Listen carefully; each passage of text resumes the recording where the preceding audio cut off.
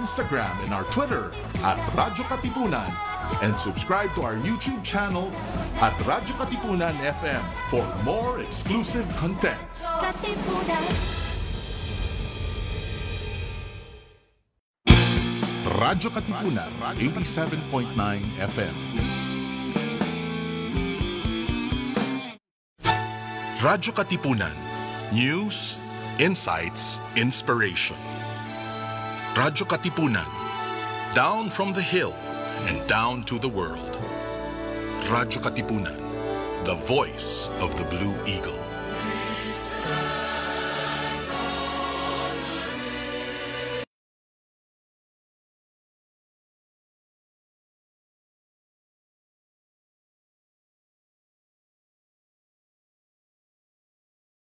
Life in all caps. Ito po si Lenny Robredo sumusuporta sa ating minamahal na multi-awarded, multimedia guru Noel Ferrer sa kanyang pagle-level up. Kaya Ateneo, level up! Level up!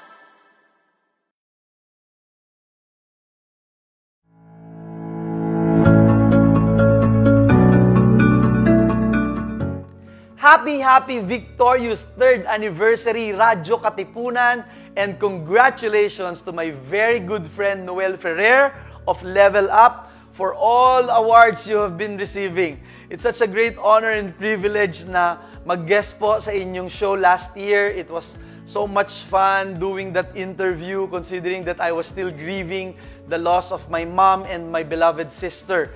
It's really nice to talk to my good friend, kapatid na Noel. Uh, it's always a pleasure. Please take care of yourself and uh, stay safe and healthy. Sa kahit na ano pong gagawin natin, kailangan po tayong mag-level up. Again, thank you very much. Thank you for your service and God bless you more and more.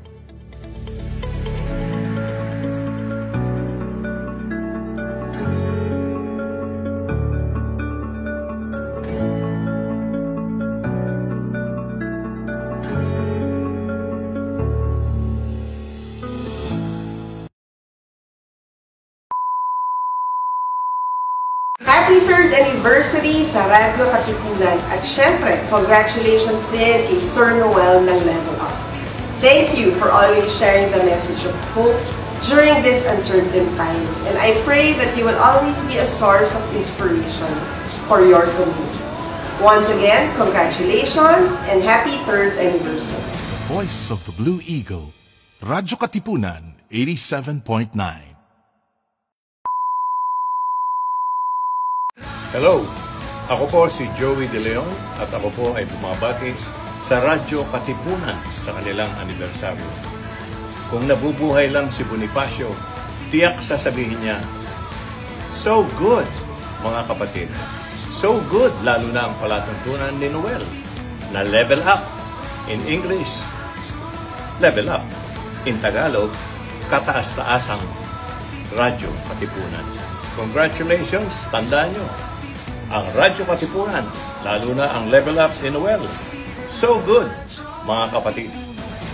The voice of the Blue Eagle, Radyo Katipunan, 87.9.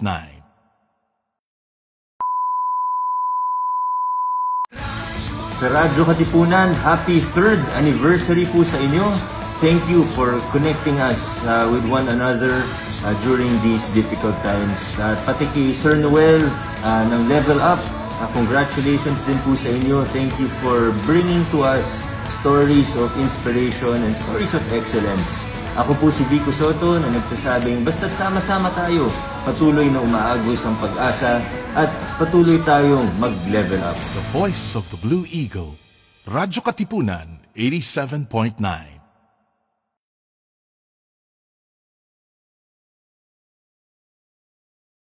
Radyo Katipunan, 87.9 FM. Follow at Radyo Katipunan in our social media accounts on Facebook, Instagram, and on Twitter. Mamangha sa lalim at ganda ng ating kultura at diwang makabayan sa mga salita at pahina. Sa tulong ng mga guro at manunulat ng panitikang Pilipino, halina't tuklasin ang yaman ng ating panitikan, ang pamana ng ating lahi. Ito ang Sari-Sari.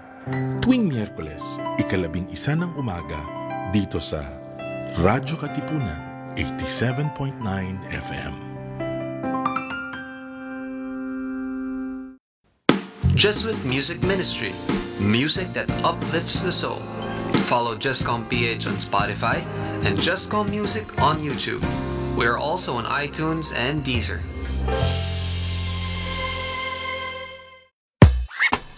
Are you feeling sore? We can make that better. Tune in to the Ateneo Senior High School's first radio program, SOAR, the Seniors On Air Radio, where you can listen to music you want straight from our playlists.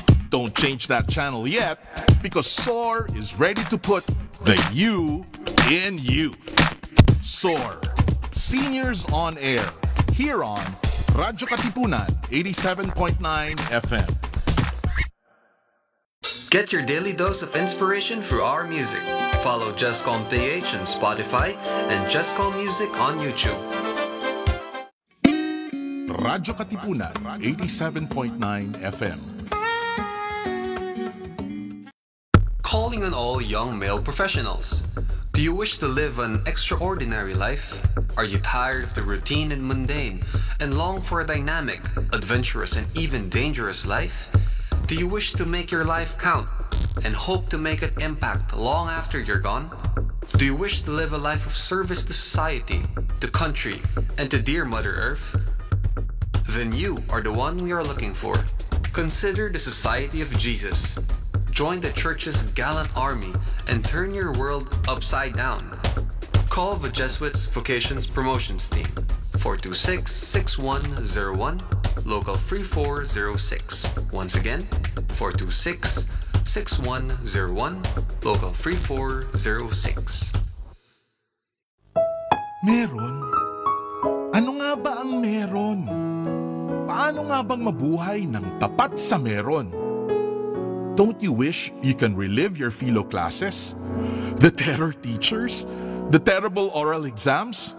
Or the even terrifying but liberating and life-changing aha moments? Lundagin mo, baby! Here's your chance! Lundagin mo, baby! Kasama ang mga pilosopong sina Jovi Miroy at Ron Capinding. Lundagin mo, baby! Leaping upward, leaping forward. Lundagin mo, baby! Leaping to greater heights, to greater wisdom, to greater magis. Lundag na, Ateneo!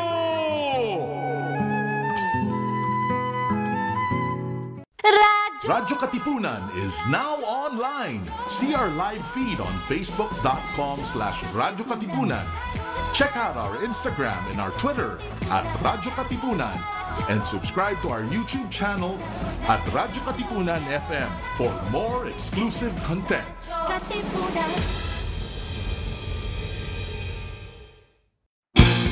Radyo Katipunan 87.9 FM.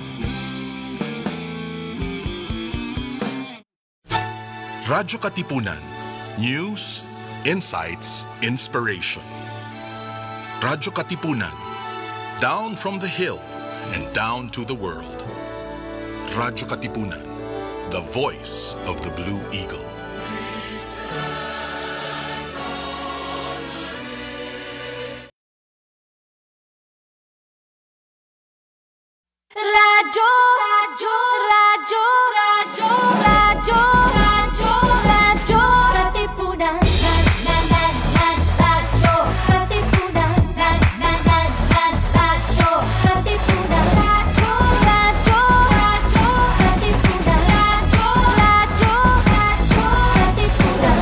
The Blue Eagle kami di mapipigil sa pagbabalitang tumpak at tama. Buhay atenista sa loob sa labas ng eskwela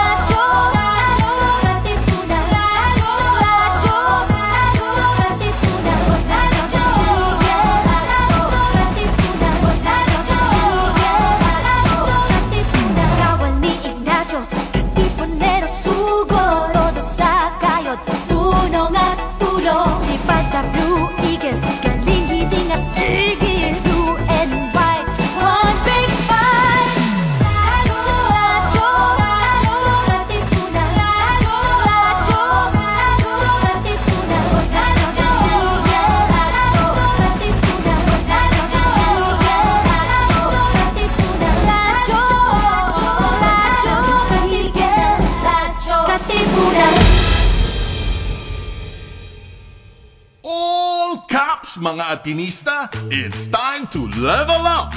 Your talk variety program showcasing the best in media and other fields.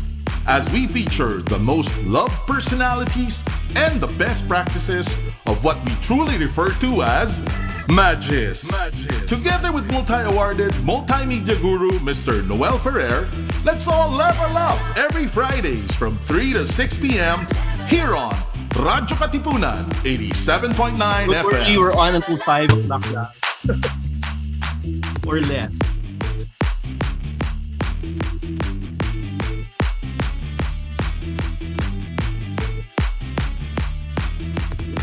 Paulit, ulit, ulit, ulit, ulit kang nagplano Paulit, Okay, all good, all ready, all the best.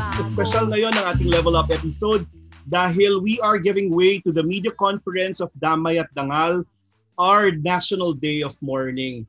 Dahil kinikilala natin ang kahala- kahalagahan ng pagdamay at pagbibigay dangal sa ating mga yumao na maraming balakid sa mga panahon ngayon. Before we go to our proponent, Mamangha sa lalim at ganda ng ating kultura So, at diwang Um, let's makabayan. start with Ma'am Sheila Jamse, representative of DZUP. Thank you to Professor Melba Estonilo, the station manager of DZUP, and Dean Army Santiago of UP CMC. Magandang hapon, Sheila. Pakita ka naman. Hello, Sheila. I, I see you there at the Zoom. Yes, yes, sir. Not yet ready. Not yet not ready. yet ready. So we'll call we'll call on you in a while. We'll call on you in a while.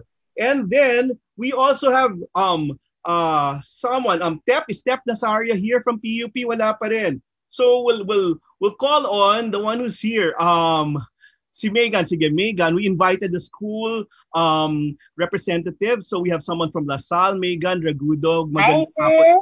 Good afternoon. Thank you for being here. Thank you so Megan. much for inviting me. Yon. Um, let it be a free discussion. Una muna, we're talking about death and death is a very communal thing. I, I want to ask you, ano yung pinakamalapit na danas mo ng death um, ngayong pandemya? Um, thank you for this question. Actually, recently po, one of our very dearly loved academic faculty was um, passed away due to COVID. And masyado kami, sobrang na-affect yung student community, especially from my college. Kasi without her, um, thousands of us wouldn't be able to graduate kasi siya po talaga yun talagang nag-help sa amin to enroll in classes, in special classes. And Mhm. um, her death really struck us. Mhm, mhm. So ngayon parang dama pero walang walang ritual, no? Paano paano nyo hinarap yan sa Lasan? Um, talagang community building lang eh. Kami-kami lang mismo po yung nagtulungan and nag-message kami kung sa, sa, sa ating sa mga friends po namin. Kasi sobrang bigat po nung pinagdada, pinagdadaanan. And on top of that, marami rin po kaming mga estudyante na nagme-message sa akin na they've been experiencing deaths within their family. Pero parang wala pong mga wala pong community uh, mourning or kahit anong man symbolic way for us to honor the deaths of um, our family members and even our those people from the community. Maganda yan. So we're creating that space now and we'll be able to ask our proponents dun yun kung paano natin gagawin yung sama-samang pagdadamayan. Erwin Lucio of PUP, I see you now. You can like, turn on your your camera. Erwin, magandang hapon. Good afternoon po. Good afternoon.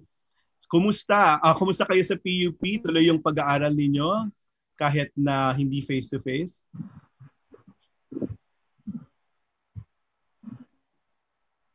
Hello, Erwin? Tuloy Pero- po. Tuloy, tatuloy. Opo po. Tuloy po kami sa online at modular mode. Mhm. Ah, na, nasa nasa second nasa second semester Okay. So yan yung limitasyon ngayon, no? Yung yung connectivity and all. No? So but but Erwin, eto na, parang ano yung pinakamalapit na danas nyo ng nakapag-enroll na rin po ako. Okay. Um, maliban sa edukasyon na parang yun din, parang namamatay yung edukasyon dahil dun sa ano no sa sa connectivity at ang dami pang mga challenges. Ano yung ano yung pinakamalapit mong danas ng ka, ng ng kamatayan ngayong ngayong pandemya? Ah, ngayon pong pandemya, namatayan po ako ng lolo Mhm. na nadulas po siya at hindi po siya nadala sa ospital bunsod ng kawalan ng hospital bed sa mga kalapit hospital dahil as of now din hanggang ngayon po ay overwhelm ang ating hospital capacities dahil sa COVID cases dahil na rin po sa kapabayaan ng ating gobyerno sa strategic na pag-handle ng mga COVID cases po. Okay. So, um, ganun yung nangyari, parang hanggang, well, recent, so recent yung nangyari. Kasi yung pagiging overwhelmed ng mga ospital, di ba ngayon yan nangyari. So, gaano ka, gaano ka recent yung, yung pangyaring yan? Mag-iisang buwan na rin po nung Isang nagpa buwan. At ano wala po, kayong mga ritual. nagpatupad po ng ECQ tsaka namatay Ah, ano po, cremate po agad po. Wala pong misa dahil sa pagbabawal sa gathering ng mga panahong iyon. Grabe, no? Kailangan nating parang i-hold lahat ng emosyon tapos yung pagdadalamhati hindi natin mailabas. Next, um, we have people from Ateneo too. Um, Max Cruz. Nandito si Max na nagsabi sa ating go na tayo on air. Max, magandang hapon. Kumusta yung pinakamalapit mong danas ng, ng kamatayan or death? I think this was said before, but like now, a lot of people who are close to us have passed away, and all one after the other, like relatives, friends, in my case, teachers, also, and faculty members, just as Megan said. And like, because it's all happening one after the other, we haven't really had the time to stop, breathe, and grieve, especially because now we can't gather. We've Mhm. only been able to talk about to talk about things and to be together through Zoom. So we haven't. So I, as Megan said earlier, we haven't had time to just grieve as a community. So now, it's good. Now an time to do it together and just breathe and think about it. Tama naman yan. And la- lastly, we can have Sheila already. Sheila, you ready? Sheila naman from UP. Ayan na, naghahanda si Sheila. Ayan na, Sheila. Hello, good afternoon. You're muted pa. Okay. Yes, good afternoon. Magandang hapon, Sheila. We're talking about death. What what has been your closest experience of death during this pandemic? Oh, I lost um a friend po, a lawyer friend from BSP last March. Um, he Mhm. was just 42. Um, he had he experienced mild mild symptoms lang eh. And then um he was he had a hard time looking for a hospital. Kaya Mhm. even though he was based in Parañaque, yung quarantine facility po niya dinala siya sa Cavite. Um, he died of heart attack. Um, it was sudden. Um, it was it was just like a week after his birthday, and he didn't tell any of his friends that he had COVID. So it was all a surprise to us. And the only time that we got to grieve was um through a Zoom, a Zoom prayer meeting, and that was it. So siguro ngayon po hindi pa natin maramdaman yung loss talaga, especially if if um hindi natin sila talaga nakikita. Pero pag nag-gather uli, nagbumalik sa normal, um, I think doon natin mararamdaman yung void na iniwan nila because they won't be here with us anymore to celebrate with us, to be here physically. So, Okay. Yun, pag-uusapan natin yan and we encourage all the people who are watching us now to like and then share this this broadcast and then put in your questions there sa baba. I know minessage na ako ng mga tao sa iba't ibang uh, print media na um, they're monitoring us. And so yun, uh, mamaya babalikan natin yung mga tanong nila, Max, um, para para sagutin ng ating panel. Anyway, um, we have here our Council of Elders muna. Um, the people who like call th- all of us together para ayusin ang isang memorial. It was such, a brilliant idea. Siguro yung kanina pa from from morning hanggang ngayon, ito yung hataw na namin na pagpo-promo. We have Manay, Judy Tagiwalo, and Beth Ortesa dapat sabay. Kasi sila yung lumagari ngayong araw na to para ito na yung yung pinakahuling salvo namin ng promo ngayong buwan para ipalabas na lang to sa mga taong gustong kumuha ng mga detalye. Manay, Judy, kumusta? Magandang hapon. Magandang hapon, Noel. Magandang hapon sa lahat na mga naririto. Parang yung AAP to plus PUP eh, no? Okay, maganda po yun. Ateneo UP, no? Na nagsasama na lumalaban tayo sa cheer dance, sa basketball. Pero kapag kailangan sumama, pinapakita natin yung pagkakaisa natin lalo na sa mga pambansang issue. Ngayon, pinapakita naman natin ang pagkakaisa natin dito sa pagunita no sa mga pumanaw no itong mahahabang madilim na panahon ng pandemya. So sabi nga natin, ang May 9, ang linggo ay National Day of Mourning. Mm-hmm. Araw ito ng pagdasal, ah, panaghoy at pagtindig Mhm. para bigyang dangal at bigyang pugay no ang ating mga namatay hindi lamang ng COVID kasi marami ang namatay sa COVID marami ring namatay na hindi COVID pero dahil sa pandemya so Mhm. maraming salamat sa lahat ng tulong-tulong no community effort ito Mhm. ang ginagawa natin dahil katulad ng community pantry tayo-tayo pa rin lang no ang kailangan sabi ni Bibet kanina magkapit bisig para mairaos natin ito no ang ating pagdadalamhati at ang ating ah, patuloy pa rin na paghawak na may pag-asa no kung tayo ay magsama-sama.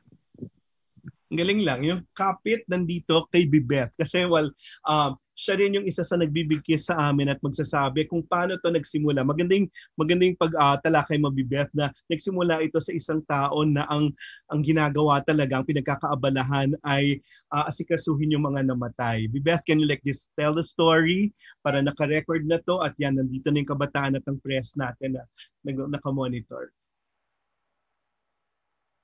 Oh, you're muted, my dear. Matanda talaga. Nakalimutan na naman. But anyway, ganito. Nakatuon na kami kasi meron kaming project dapat sa UPPGH, no? Yung Whispering Flower Beds. It was supposed to have been dedicated to the fallen frontliners ng mga doktor pero hindi lang PGH, nationwide din ang trust namin.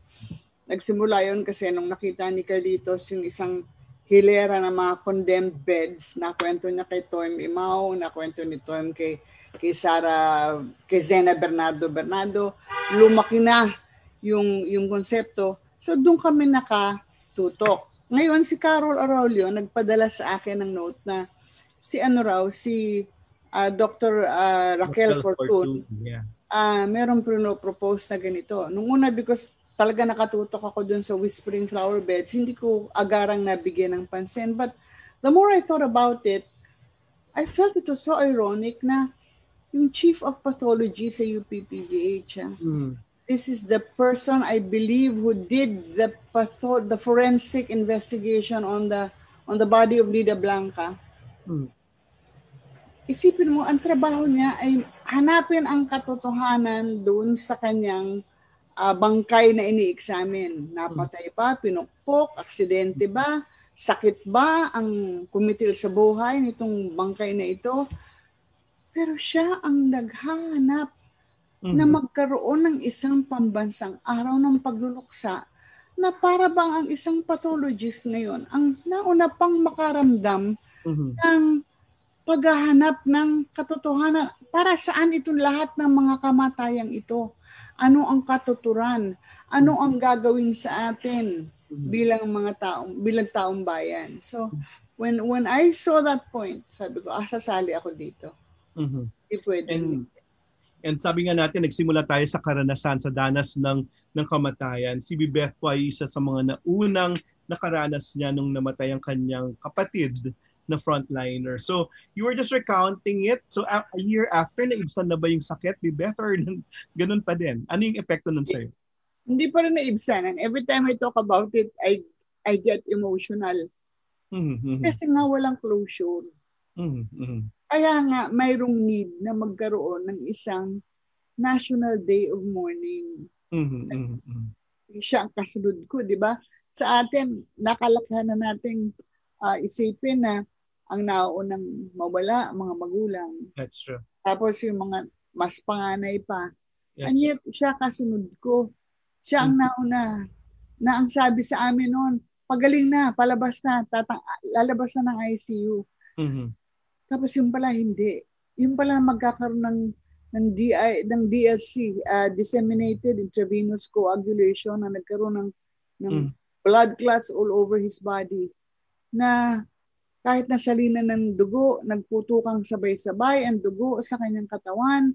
And then, lumabas ang dugo sa lahat ng butas na posibleng nabasan sa kanyang katawan. Tapos na-cremate ng diretso, Bibet. Anong Tapos ritual ang nagawa? Anong nagawa ng pamilya na ritual? Wala. Walang nagawang ritual ng pamilya kasi April 82 eh. April Oh. 8 siya sumakabilang buhay. Oh. Tapos, um, nagpaalam ako. Sinabi ko na pwede ba akong magpunta kahit sa labas man lang ng ano, ng uh, crematorium. Kakaway lang ako sa asawa niya at mga anak. Hindi rin nila ako pinayagan. Oh my God. Hindi nila ako pinayagan. At yun ang masakit. Masakit doon yung yung walang closure. Totoo yun. Pagkatapos, and even then, nagrereklamo ako, masama ang loob ko. Pero ang realidad, Noel, ano, Mas marami pang ibang tao na in Gan- worse, in Yeah. worse situation, true. na kukunin yung katawan, pakikrimate yung katawan, maghahagilap ng pambaya dun sa cremation, merong tatanggap sa kanila, merong hindi. Parang kailangan lang talaga maghawak kamay and then to move together as a group para para maibsan ang sakit. Kasi it's just like sa sa aming mga uh, cancer women, no? Mm. Um pagka alam kong may cancer itong kausap ko, hindi niya na kailangang ikwento sa akin yung naramdaman niya do, upon diagnosis, during treatment, kasi dinaanan ko yun eh. Mhm. So alam ko kung, kung gaano ka kasakit, kung gaano kahirap, ganun din ngayon sa National Day of Mourning. Sabihin mo lang sa akin, namatayan ka rin sa COVID. Alam ko na Ano pinag... gaano kasakit yon para sa iyo na hindi mo nakita, hindi mo man lang nahatid sa huling antungan. So Grabe, no? that, we hold hands. At kasama natin yan sa pagkakapit-bisig, dal- dalawang kasama mo sa Concerned Artists of the Philippines, ah na talagang ah, ang daming pinagkakaabalahan, pero ito nga, gusto ko rin malaman yung danas nila ng, ng kamatayan kasi ang dami siguro lang natulungan. Yung isa nga dyan, kasama mo sa referral ah, job na ng mga ospital at kung ano man. So, si, si, si Crick San Gabriel na siyang magiging direktor ng ating palatuntunan sa sa linggo at ang presidente ng ng ang ma'am natin sa Concerned Artists of the Philippines si Lisa Ito. Magandang hapon Lisa at saka Crix. Buhay pa naman kayo. Magandang hapon po, Sir Noel. Magandang hapon. Lisa, ikaw ano yung lahat na nagsabi ng pinakamalapit na karanasan doon sa kamatayan? Ikaw, ano yung danas mo ng kamatayan ngayong pandemya? Ah, ngayong pandemic, ano, um, ah, pareho po yung karanasan ko with marami. Ah, namatayan ng kamag-anak, ng mga kaibigan, tsaka ng mga kakilala. Um, especially po sa, um, also mga colleagues na, na involved sa mga um, organizations and communities na tumutulong sa ibang tao. So, mabigat po generally yung danas sa ano sa pandemic. Actually, nung April, halos sunod-sunod po yun na na na yung pagkawala um, Mhm. from my lola, uh, very um, respected colleague sa aming department sa College of Fine Arts Mhm. uh, who passed away. Um, and of course, yung mga recent news of of um, media and cultural workers such as um, Sir John Heredia of Panay, who was um, killed uh, just last week, one night before yung World Press Freedom Day. So yung yung collective weight of all of these um, experiences, it was something that we ex- na naranasan po na paulit-ulit since the start of the pandemic. And yung concerned artists of the Philippines, parang from from before we have a lot of activities and one of yung pinakamadalas namin ginagawa na activity throughout the pandemic was to um, help organize tributes um, to people who passed uh, away. So, ano to, volunteer effort by um, friends, by people who wanted to know more of um, yung, yung life and yung work of, of everyone. And siguro halos every month or every two months nag-organize ng, ng tributes po yung mga... Um. So, yun po is the grand tribute that we're doing anyway, no? So, um, Crix, ikaw naman, um, does this make you numb? Anong epekto sa inyo na parang lahat na lang parang na natatapon sa, sa grupo ninyo tapos noon um yun nga sinasabi ba yung yung art daw, yung art heals, no? At this point, ano yung danas mo niyan, Chris? Naka-mute ka din, kapatid. Um, alam mo kanina nga no uh, while reviewing kasi 'di ba of course we're putting up everything together mm-hmm. no um pinapakinggan ko lang yung music no ni Arman Ferrer na na sana ilalagay namin sa programa no parang sabi ko nga kay Bibet nagka-text kami sabi ko naiiyak na ako mm. alam mo yun um mahirap siya laban si si Chris Bibet no. K- kasi ang hirap niya, no. Even like kunyari um parang wala pa naman akong malapit na kamag-anak na mm-hmm. biktima ng COVID, pero nag- naging positive. But that situation is a roller coaster already, no, for our family. It's no? 'Di ba? Um what more yung namatayan ka, no? Um yung isang producer ko, yung kapatid niya, no, namatay, no, which is um kailangan ko siyang tulungan dahil dalawa lang sila magkapatid. Mm-hmm. mm-hmm. No, parang um pero tinuring ko naman talaga siyang kay, kapatid, no. Um mm-hmm. parang gano'n, no. So mm-hmm. parang kailangan ko maghanap ng uh, punerarya para kunin, kunin yung katawan doon sa ospital. Alam mo yun, madaling araw, maghahanap ka na gano'n. Kailangan mo maghanap ng uh, ambulansya kung saan dadalhin yung... Mm-hmm. Parang kas yung yung feeling na gano'n, parang ang hirap niya no para sa isang pamilya no? Parang uh-huh. tapos pero tayo parang parang numero lang yung yung trato sa sa mga namatay. paano yung pamilya nila? Ano mm. yung nararamdaman nila di ba? Yun. Ang ang hirap-hirap noon hindi hindi mo may hindi mo dapat itatratong numero yung buhay. Dahil hindi lang isang buhay yan ang apektado diyan no? Pati yung buong pamilya niya apektado. Di ba? mm hindi hindi ganun kasimple yung natitignan mo lang siyang numero. Mm-hmm. 'Di ba? Yun lang. So ito tingnan natin no kasi we we've invited some people na napaka-unique ng story at kasama yung pamilya nila dun sa pararangalan natin sa linggo. So before our journalists, our friends in media would ask questions, nandito si Casey Cruz. Casey, alam natin na ikaw yung isa sa mga, yung kaso ng pamilya mo, ng nanay mong namatay, ang isa sa pinaka parang wake-up call ng mga tao nung una pa lang nangyari yung uh, mga yung mga biktima ng mga frontliners na biktima ng COVID. Um kumusta one year after at ano yung mga learnings Casey? Naka-mute ka rin, Case. Thank you. One year after, particularly last March, ano, na na grabe yung surge ng COVID positive um, patients, there were nights na hindi talaga ako nakakatulog. So, hmm. naalala ko pa rin yung nanay ko. Naiisip ko na if she was able to survive last year at na nakapagpatuloy siya as a nurse, eventually, the system will fail her. Mm-hmm. Eventually, she will die. Mm-hmm. Mm-hmm. Kasi, nung nakita ko na ano, na ang daming, yun, yung hospital beds, walang hospital beds, yung bakuna, uh, nag-uunahan pa lahat no para magkaroon ng bakuna. Maka-survive man siya that time. Nakapasok pa rin siya sa work niya. Mamamatay at mamamatay siya. Al- alam mo yun, uh, yeah. Sir Noel, uh, hope, I feel hopeless somehow no sa nangyayari sa sobrang dami ng ng nangyayari sa pandemya. Yes. Yun, yun. Uh, masakit pa rin, syempre. And if you are to remind the people about what happened to your mom, no? Siya yung nurse, di ba? Mm-hmm. Siya yung nurse, tapos noon yung sitwasyon ninyo na ikaw na detain, di ba? Uh-huh. Anong tawag sa inyo noon? Kabuyaw 11. Kabuyaw 11. Can you, can you refresh the minds of people as to what happened to you then? Hindi ko na sana i-share. Pero okay lang, sige. Sige, mabilis um, lang, mabilis lang. Oo. Uh, I was one of the Kabuyaw 11 na na-aresto last um, July 4 during the time na pinasa yung anti-terror law. Ano. So, after almost 48 hours of um, staying in the detention, being detained, uh, nakalaya kami. Um, uh, then, uh, we contracted COVID.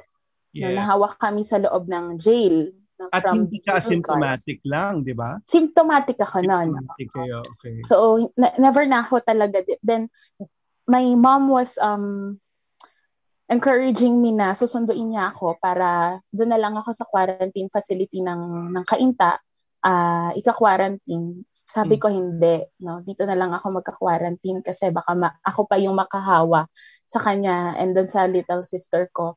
Mhm. Then days after, ah, July 11, siya naman yung nagkaroon ng symptoms. Grabe. Then, after 14 days, July 22, that was the time na nawala siya. Hindi na kami talaga nakapagkita.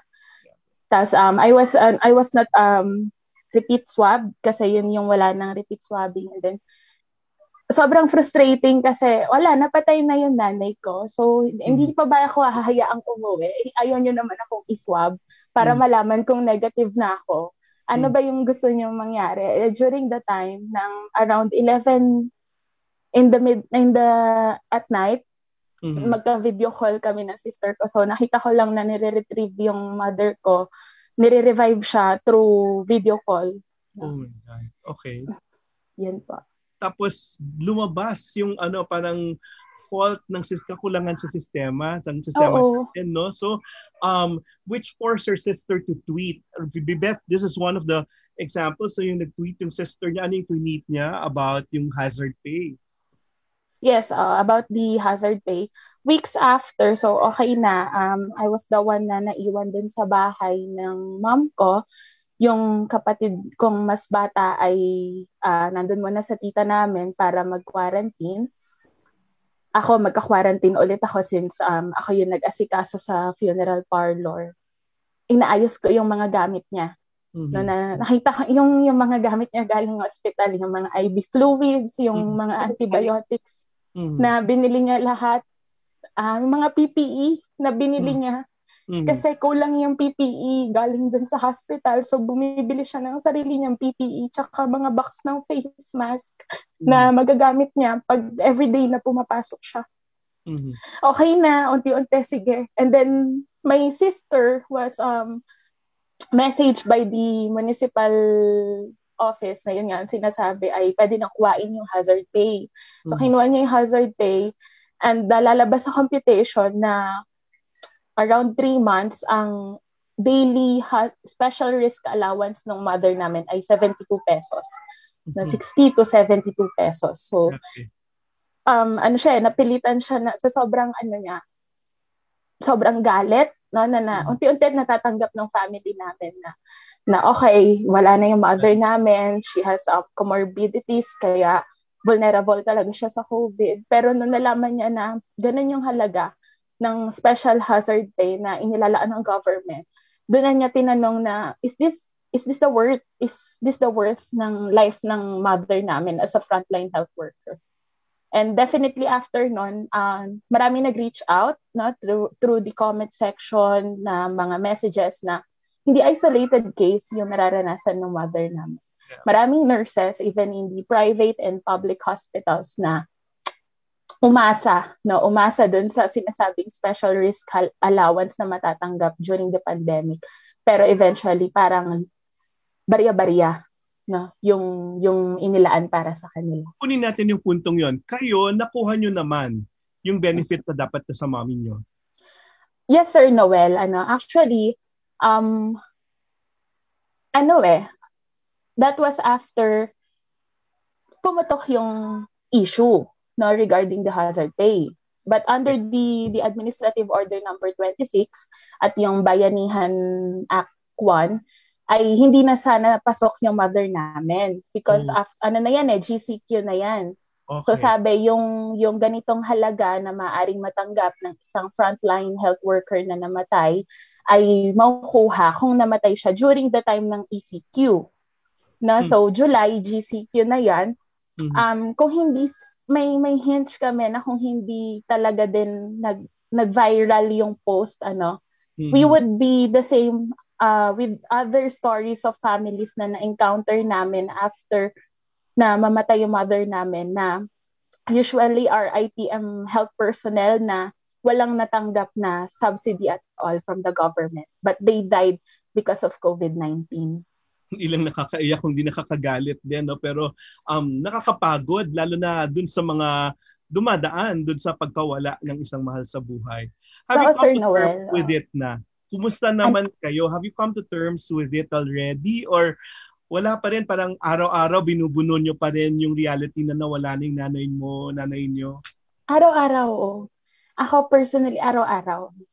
Even though hindi ko laging kasama din yung, yung family ko, Mhm. araw-araw na alala ko siya. May may mga times talagang mapapatigil ako na ha- hanggang saan pa tayo dapat lumaban para mapakinggan yung demands natin at ng mga ng mga health workers na bakit parang bakit parang walang nakikinig at handang pakinggan yung yung yung gusto lang naman natin yung maayos na protection eh para sa health workers, para sa lahat. Ano? Para mismo sa atin, sa mga kapamilya natin. Kaso yun eh, it seems like the the government has failed us. I'm sorry to say that. Parang na, yumao na nga nawalan pa ng dangal. At yun yung gusto nating ibalik dito sa gagawin nating activity. Yes or no? Actually, may pinost yung mom namin ng 2014 ano na eh, allow me to read her Okay. post sa kanyang Facebook account. On August 16, 2014, our mother, Maria Teresa Cruz, wrote on her Facebook timeline, Going home late at night, almost morning, hashtag life of a nurse at government. We did our best to serve, and we are proud of this noble career we choose. We are not asking for more, but we deserve better respect, appreciation, kindness, and security. So that was in 2014, no? pre-pandemic, before the COVID-19 pandemic happened. And she already had those sentiments. Okay. At hanggang ngayon, yan pa rin yung binubuno natin ng lahat ng mga taong may ganyang karanasan. So, yun. Um, sabi nga ni Bibet at ni Manay Judy, tayo, tayo lang talaga na rin yung magdadamayan. Dina, Dina, Fuentespina, ikaw din may kakaibang karanasan. Um, you're based now in, are you based in Bangkok now? Opo. Opo. O yun, nasa Bangkok si Dina, Dina is it Dina or Dina? Dina po. Dina. Okay. Tell us your story. Isang unique din na story na grabe maantig ka rin. So after after the passing of someone in your family, ano na yung danas nito sa iyo? Ano yung ano yung um pakiramdam, ano yung pinagdaanan niya dito? Thank you. Thank you, Noel. Thank you po sa pag um, pa-unlock sa akin dito. Ah, medyo recent lang ang aking karanasan at medyo hirap po ako magtagalog. Ah, Ilonggo po kami pero kaya pasensya na po pag mali-mali yung aking Tagalog. Um, nung nag nag-book po ako ng flight to the Philippines last January dahil may sakit ang papa ko. Ah, at that time at that time si mama ko was okay and was my papa who was sick and was um cons- uh, when we were very concerned about papa. Um, COVID stopped me from coming home last January kasi na-cancel yung flights. Tapos ah nag mga bata, ano, mga anak ko dito may may may pasok at bumalik na sa online learning. Um, so I booked myself another flight to go home last February 1, this time Cebu, Cebu Pacific, pero na-cancel din yun. And then last February 17 at around 4:15 p.m. in Bangkok, I was in a meeting then I was in a Zoom call uh, when suddenly my phone rang and my brother Junjun, who has never called me before, was calling me via Messenger. I excused myself from my call and answered the messenger call. Um, at first, I couldn't hear what Junjun was saying. I called and then I called him back. He answered and, and he was saying something that I still couldn't hear. And then I called again, this time desperate because I knew that something was up, uh, desperate and shouting, but I still couldn't hear Junjun. Um, after a few attempts, I, I received a text message to call a number and not use Messenger. So I called Junjun and he answered, Dai si Mama, Dai si Mama, Dai. And that was so I when I knew that Mama died. Um, uh, uh, no, I didn't. I didn't. It didn't dawn on me that was that Mama already was already dead. But he, he was saying that Mama died, and then uh, that Mama die si Mama si Mama, and then I cried and wailed and and shouted and um and then I said, ano natabo? Ano natabo? What happened? Uh, ari kami dahil sa morgue. Uh, patay na si Mama Day. That was so um, uh, surprising because Mama wasn't that sick compared to Papa. Papa was the one who was sick at Sick that of what? Sick of what, Dinah? Si Papa? Kayo, yung mom, yung mommy tsaka yung dad.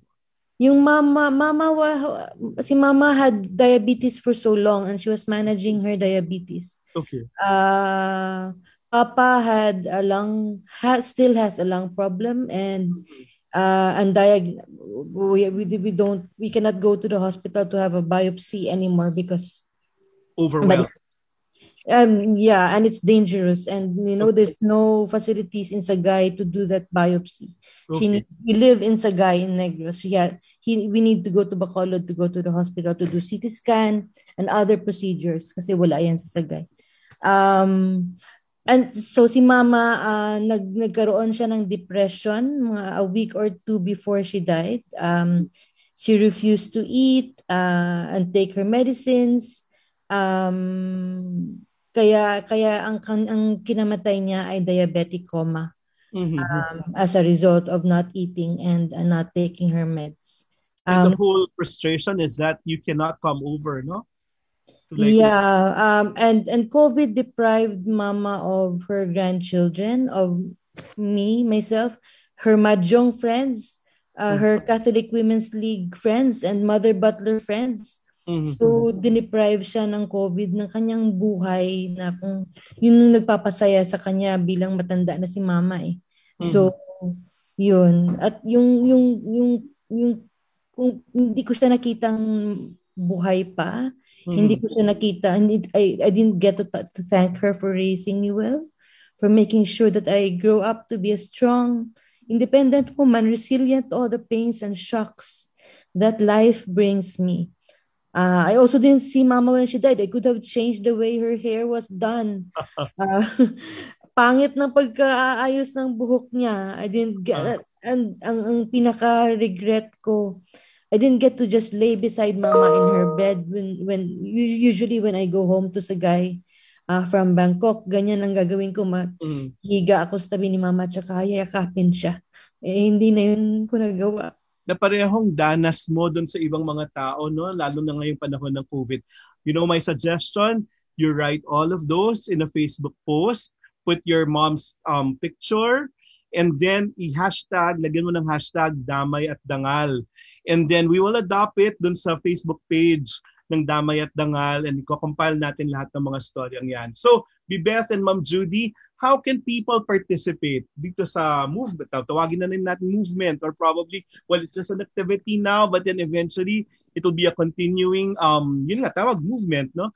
Para i-compile lahat ng mga storya na hindi lang statistics, mga mukha ng mga tao, pamilya na nag na may danas ng pagdamay at pagbibigay dangal. So how can people join, Manay Judy? Ay, naiyak pa ako. Grabe, no? Mamaya na ako, Noel. Okay. Beth, go. Okay, si Lisa na lang. Yung mga naka... Lisa, um, how can people participate in the um, Damay at Dangal activity? Yes, sa sa May 9 uh, at 6 uh, 5 p.m. uh, magkakaroon tayo ng isang online na tribute and memorial na isi-stream uh, through various pages including Radyo Katipunan, uh, Concerned Artists of the Philippines page, and many more. And if you are interested in also sharing and cross-posting yung yung event, uh, please do message the Damay at Dangal Facebook page para uh, magawa natin ito. Then, of course, we also, um, yung uh, one way of also participating is also by um, sharing our memories, stories, the names of people who we wish to uh, give honor to and uh, we wish to pay tribute to uh, throughout the, the pandemic. So, um, maaari pong mag-post uh, what you are comfortable with sharing yung pangalan ng uh, inyong yumao na love, uh, loved ones, um, a photo, um, or if you are comfortable with um, uh, an altar, uh, um, we can you can ano uh, freely um, post the the the images with the hashtag damay at dangal. Um, on this day so that we will all um, uh, makiramay tayo sa isa't isa at yung mga um, uh, uh, memories that everyone shares through these. Kuha tayo ng lakas no pa sa isa't isa sa pagdamay natin sa isa't isa. Now I'll call in Tep Step from PUP. We have a PUP invasion here also. You can shoot your question to any one of our guests now. I'm sure yun nga kakaiba yung danas at yung pinagdadaanan natin ngayon. Step, you can shoot any question sa ating mga kasama. Yes po. Good, up, good afternoon po, Sir Noel, and to all the guests. Um, first of all, condolences na rin po sa lahat ng mga namatay. Narinig niyo po ako, sir, by the way? Yes, yes, yes. Yes po. Condolences po sa lahat ng mga namatay and ayun, I wish you all the prayers and yeah, I hope na the Lord will guide you all the way po. Anyway, um, ang tanong ko lang po sir about this initiative na dangal uh, Damay at Dangal. Damay at Dangal is um, ano po ba siya? All year round po ba ito hanggang sa matapos po ba ang pandemic? Okay, magandang tanong yan. Um, yan, nakataas ang kamay ni Crix. Crix, sige, pakisagot. Okay. Um, no, gagawin namin siya every month, every ninth day of the month, no. Um, Bakit ninth? I, Kasi yun nga start ng start ng ano ngayon, um, Mother's Day. Mother's Day, no. So parang um of course um para sa inang bayan, 'di ba? No? Lucky um, nine, sana lucky nine no, ng lucky nine. Ma-thwart natin yung yung mga pangyayari yung tulad Of course, we don't want to end this na hanggang matapos yung pandemya. Of course, sana mar- mabigyan ng tamang response yung pandemya, di ba? Na parang mabawasan yung mga namamatay. Ganon. Kasi parang, um, of course, we don't want to um, to have this event monthly na may binabasa kaming namatay.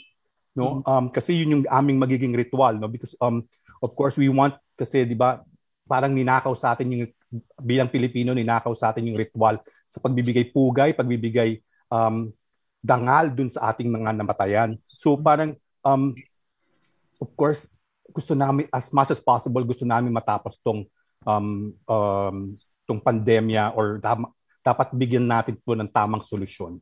Yun lang. Thank you po. Also, salamat. Yeah. Napakahalaga po ng yung um, mga bagay tulad ng memorials, monuments para nananatiling buhay ang ang alaala at diwa ng ng ng uh, mga mahal natin sa buhay. Um, doon sa um, regular na uh, na pagdadaos ng ritual, pag, pag-aalay at pagbibigay ng oras para um, uh, to remember uh, we hope na yung ganitong event ng Damay at Dangal will be able to um, kahit pa paano give way or ano, um, be a source of catharsis and healing mm-hmm. for many. Kasi ngayon talaga umiiyak tayong lahat, no? Um, pero in siguro sa ating luha, we find light rin. Um, at makakahanap tayo ng liwanag dito sa sama-sama nating pagdadamayan at pag um, pagkukwento ng ating uh, naranasan at yung gusto nating mangyari para sa sa pamilya natin, sa komunidad natin at para sa bayan. Diba ito yung practice talaga na nawala, yung yung necrological service or yung tribute, no? So ibabalik natin 'yon para 'yon maibsan man lang yung, yung sakit na dinana, dinadanas natin. Engineer James Wong ng ng Radyo Katipunan, magpakita ka na. Um, may tanong ka sa kahit sino ang nasa ating panel. Hello po, magandang uh, hapon po sa inyong uh, lahat. Uh, napakinggan ko po yung mga kwento kanina at uh, talaga nga naman hong mabigat sa pakiramdam. At uh, ako po bilang nagkataon na kabilang po sa isang uh, chapel dito po sa Marikina and we have uh, catered to some uh, uh, some faithful na uh, they're asking for mass intentions, they're asking that their dead be blessed, no? Sa kagustuhan man namin na, na pumunta, minsan tatawag kami ng pare, no? Takot yung pare, minsan ayaw pumunta because of health protocols and we really know how heavy it is for those who are grieving.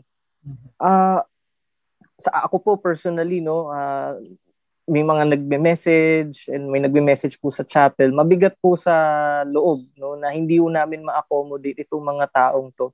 Pero sa inyo pong uh, mga napag-usapan po kanina no. Uh, paano ho ba paano ho ba natin ito sisimulan na iba-iba tayo ng tinatapakang level sa sa lipunan? How do we unite ourselves in order for us to come up with a concrete response na panglahat? Kasi ang nakikita ko po ngayon parang watak-watak po tayo uh, iba yung ang dami hong mindset eh so ako po uh, personally yan din yung tanong ko sa sarili ko eh. kanino ba ako personally sasama kanino ba ako makikipag uh, makikipag-usap, kanino ko ba ibabahagi yung aking mga naiisip. And ayun po sa akin, paano po?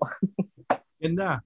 Um, Bibet, baka gusto mong sagutin. Yung tipong, um, this is a great equalizer, no? The all, sa unang danas natin ngayon ng, ng um, damay at dangal, um, is the cross-section of all sectors at lahat ng mga kwento ng mga taong namatayan. So, um, how can how can the public expect na yon ma- masasama yung mga storya nila Bibet? And ano yung kakaibahan nito? Kasi ito hindi to pinapataw galing sa taas, no? It, it's us, no, organizing bilang magkakasama at walang walang boss. So parang magkakapantay-pantay lahat. Bibet, go. Alam mo kasi Noel, wala namang miski yung community pantry halimbawa, Pinanganak yun by accident. Isa lang, and then nagsunuran na lahat. Mm. Naapektuhan na lahat. Mm. Pagka mayroong need para sa isang movement na ipanganak, ipapanganak talaga siya. Mm-hmm, mm-hmm. Mangyayari at mangyayari. Hindi ito coincidence. Hindi ito mm-hmm. pinagtiyap ng panahon. Mm-hmm.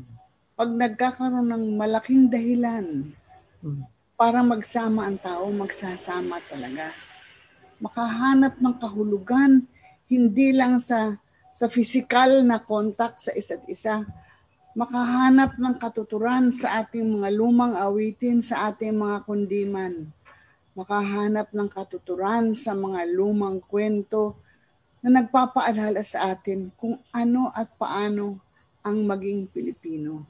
Mm-hmm. Ang tumamay talaga sa kapwa. Mm-hmm. Mm-hmm. Halimbawa, yung isang malaking wala ko rito nung nangyari noon eh. Mm-hmm. Nasa ibang bansa ako. Mm-hmm. Pero like ang EDSA 1, nangyari. Mm-hmm.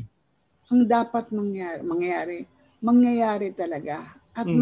Makikita mo naman na um, nung araw ko pa to sinasabi, engineer eh, yung pagka mm-hmm. sinasabi ng mga tao na uh, kailangan naman tayong magkaisa. Mm-hmm. Sinasabi ko lagi, huwag nating kalimutan ang konsepto ng UF, mm-hmm. United Front, sabi ko. Mm-hmm. Pag sa UP ko sinasabi yan, sinasabi ko, hindi lang tayo UFI, U- UF din tayo. Mm-hmm. But seriously, it's it's in how we are together. Mm-hmm. Kasama na rin dito yung ating patuloy na pagmulat ng mata, mm-hmm.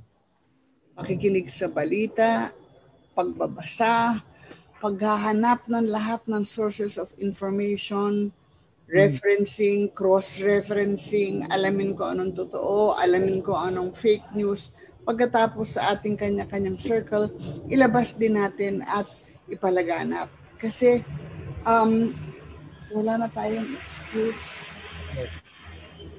Ang maganda lang siguro, no, parang um, parang virus. So pwedeng mag-mutate talaga, Bibeth, parang community pantry, yung, yung damay at dangal. No? Parang, oo, meron tayong monthly, every nine, lucky nine na ritual. No? Pero you can have it in Lasal, you can have it in UST, pwedeng magkadamay at dangal sa Ateneo, iba't ibang chapters. So, but then we collate everything para meron lang tayong master file dun sa hashtag damay at dangal. So it can be, may mga chapters pwedeng yes. dumami, no? At saka, so, wag nating isipin na na wow, um, bakit andito tayo? Dati, dati kasi ang konsepto natin ng, ng community fund, oy, oy UAAP na naman, magpapabonggahan na naman, mananalo ba ang Ateneo over UP, mm-hmm. mga ganon? Mm-hmm. But ito mas iba. Mm-hmm. Mas halukay bituka natin. Mm-hmm. Oh, yun. ang ah, ang mga nangyayari. Nagkakaroon tayo ng added layers of sensitivity. Pumasyal ka lang sa sa Facebook halimbawa, Mhm. Mhm. mag halimbawa mag, magpo-post na may mga, mga makikita kang post tungkol sa isang mama na pumila, hindi nakakuha ng pagkain. Pero Mhm. pag uwi niya, nakakuha siya ng mga ah, kamote. Ang ginawa niya, din, binalik niya doon, nagdala rin siya, namigay din siya. I Mhm. mean, we give the little that we have That's because we know that others are going to do that also for us. Galing, no? It's, it's empathy and compassion. Before you leave the Zoom, the one, a representative from Lasal, Megan, can you shoot a question? Um, sana sa Lasal, pwede kayong mag-hashtag damay at dangal and then you start like writing your stories and your tributes to the dead. Tapos pwede rin siguro magkaroon ng sarili niyong pagpaparangal pagkatapos. Megan, Yes. you have a question to um, our panel. Oh. Um, yes, actually, we're more than happy po to really do this, um, itong damay at dangal po kailangan natin at this time. Uh, siguro po, in ko lang, well, um, how else, paano po ang mga kabataan? Paano raw makakatulong yung mga kabataan? Ma'am Judy, go. Yan yung mga kabatch mo. Ah, maraming salamat. Ah, ever since naman ng kabataan ng pag-asa ng bayan, ano, in terms ng energy, panahon, lalo na ngayon, ano, sa punto ng ah, mga remote, social media ngayon, eh, Twitter, no, napakalaki ang papel ng kabataan para mag-disseminate ng mga information at mag-call out din ng mga false information. Kung may troll army na nagpapalaganap ng uh, fake information, tingin ko napakahalaga ng kabataan para i-call out sila. Isa yun. Pangalawa, uh, beyond sa uh, pagluluksa at pagdarasal, sabi nga natin, itong damay at dangal ay espasyo din para magnilay-nilay to reflect why is this happening? Bakit hanggang ngayon yung COVID na nanalasa sa atin, ano, kung ikumpara mo sa Vietnam, ikumpara mo sa Thailand. Huwag na natin kumpara sarili sa India. Anong problema ng healthcare system natin? Ano ang problema doon sa kawalan natin ng sariling vaccine production when actually noong 1934 tayo ang nag-donate ng anti-rabies vaccine sa China. Kasi tayo ang may vaccine production na sinarhan nila nitong 1990s at ginawang mall no ang production. So ito yung part ng kwa ng kabataan eh go deeper beyond the grief no beyond the prayer. Why is this happening? Why are so many people dying? And why are so many people dying not only of COVID but also and even you know ang proliferation ng mental illnesses ay isa pa pala yun. I think important sa mga kabataan to provide a support system sa mga kaedad ninyo ano na nag-going through the depression kasi maraming namamatay hindi sila makakalabas.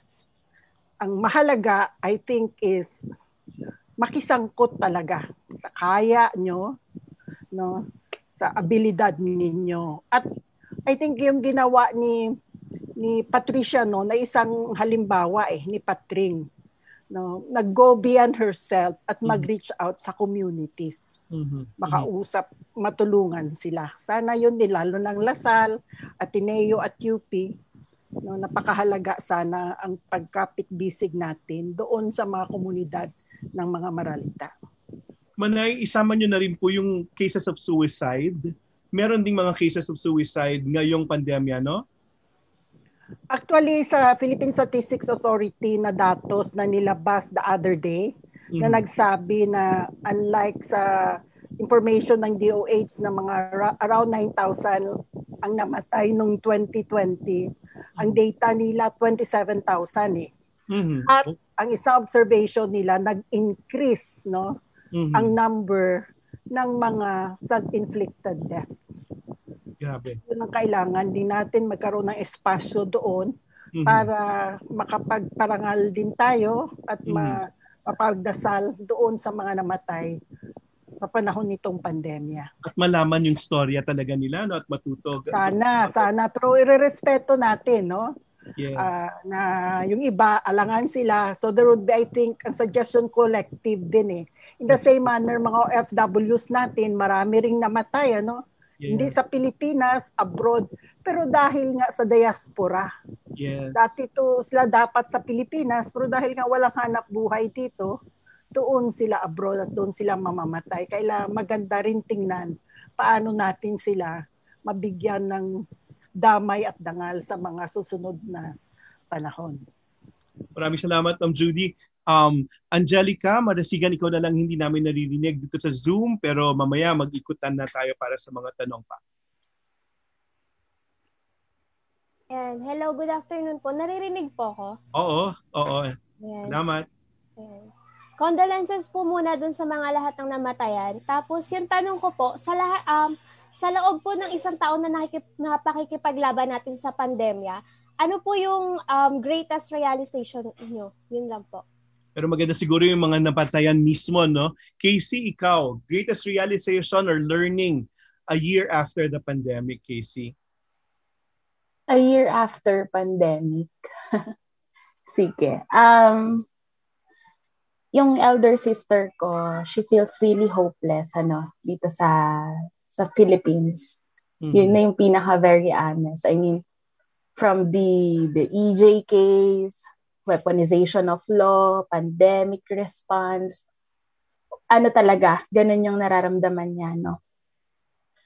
As, ano eh, ni, ano eh, ini-invite niya ako na, na Umalis na better lang. yung, oo, umalis na lang yung family Saan namin. kayo sa New Zealand? Sa mga bansa? Wala pa namang ganong plans, pero mas safe siguro, pandemic ganyan. Oo, maayos ang pandemic response, maayos ang ang government, ang governance. Pero yung sinagot ko sa kanya ng Sir Noel, siguro yun na rin yung, yung isa sa best realization ko. For every one of us, we may have options. Tayo na nandito ngayon, nakakapag-usap-usap tayo, may may data tayo, nakakapagsama tra- tayo to, through Zoom, may options tayo, may choices tayo. But the others do not have those options na meron tayo ngayon. Mhm. Sabi ko sa kanya, may choice tayo ate, kasi kaya natin. Mhm. But um, if we will leave our country, tatahimik tayo, titigil tayo kung sa mga advocacies na meron tayo. Kabawasan yon, no? Kabawasan yon para dun sa sa kung ano yung gusto natin na better na na sitwasyon sa bansa natin. Yun, yun, yun, yun siguro. I mean, in- it's not, ano eh, something na sinasabi nga ni Manay Judy kanina, go beyond yourself. No? Yung empathy na maunawaan mo, kahit gaano kaalwan yung sitwasyon mo ngayon, may pera ka, may kinakain ka sa maghapon, maunawaan mo ano yung sitwasyon ng iba na Mhm. ng kapwa natin. Lalo yung mga mga frontliners natin ngayon. Grabe. Nakakakilabot lang na tipong, oo, we may have op- options, pero you choose the other way, no? manatili at bunuin ito. Dahil na ikaw, realization after, well, one year of the pandemic, ikaw wala ka dito. Um, is the Bangkok situation better than the Philippines? And how do you feel about our country now? Ah, medyo better, medyo better ang sitwasyon sa Bangkok kumpara sa Pilipinas. Um, ngayon, third wave, ah, meron kaming 2,000 cases a day and around 27 deaths. Um, nagpapanik na kami dito kasi medyo malaki yan ah, kumpara sa first wave and sa second wave. Ang realization ko na hindi naman masyadong realization pero um, mas lalo akong nagagalit kung bakit napakaliit ng ng budget ng gobyerno na pupunta sa health services at sa ah, public services in general. Bakit um bakit nasa ganito tayong ka- kalagayan ngayon na ang ospit nakikita ko yan sa ospital sa mga ospital sa Sagay na hindi na hindi kumple- kumpleto ang facilities kailangan pang bumiyahe ng 81 kilometers papuntang Bacolod para maka-access ng better healthcare. Um yung mga ganyang ang mas realization ko pati para sa sarili ko naman na, na, na patuloy akong lalaban at patuloy kong lalabanan ang ganitong sistema pa hindi lamang para sa pamilya ko at para sa ganit sa mga kababayan natin at para syempre sa mga susunod pang henerasyon para hindi na nila maranasan ng ganitong klaseng uh, paghihirap. Nasaan yung ano, nasaan yung pera? Siguro eh, nasa nasa news naman, no, sa intelligence at saka sa buhangin yung yung last na ano, 'di ba, sa yung pampalit ng dolomite sa sa Manila Bay na sand. Anyway, we have we're joined by another another one who share her story. Ito kakaiba din doktor siya pero yung yun, mommy niya, batang-bata pa rin ay yumao rin um, dahil sa COVID. Um, um, Ariel, si Ariel, dada doktor. Yes, um, kagagaling mo lang ng duty. um, yes, well, um, yes, sir. So, uh, isa yung mami niya yung napaparangalan natin sa, sa linggo. So, um, Ariel, can you tell us your story? Oh, okay, sir. Um, so, hello, everybody. Um, I'm Dr. Dado. Um, my mom passed away from COVID last July 2020. Um, back then, I was actually working as a, um, I'm a resident doctor in a government hospital. And um, actually, my whole family got COVID. Um, we can't really say if I was the one who brought it home or it was um, someone else in the family, but um, that's what happened. And actually, my time then that I got to share my story with the local news. Um, mm Nung July kasi to eh, um, and I noticed kasi firsthand how the hospitals were really swamped because I was also doing COVID mm-hmm. duties actually, and mm-hmm. um, until it was I, my family, who needed to get to a hospital and be mm-hmm. tested already. And um, even then, we really had a hard time. And I didn't know where to go, even if I was a doctor already in a government mm-hmm. hospital. So I found that very, um, very sad.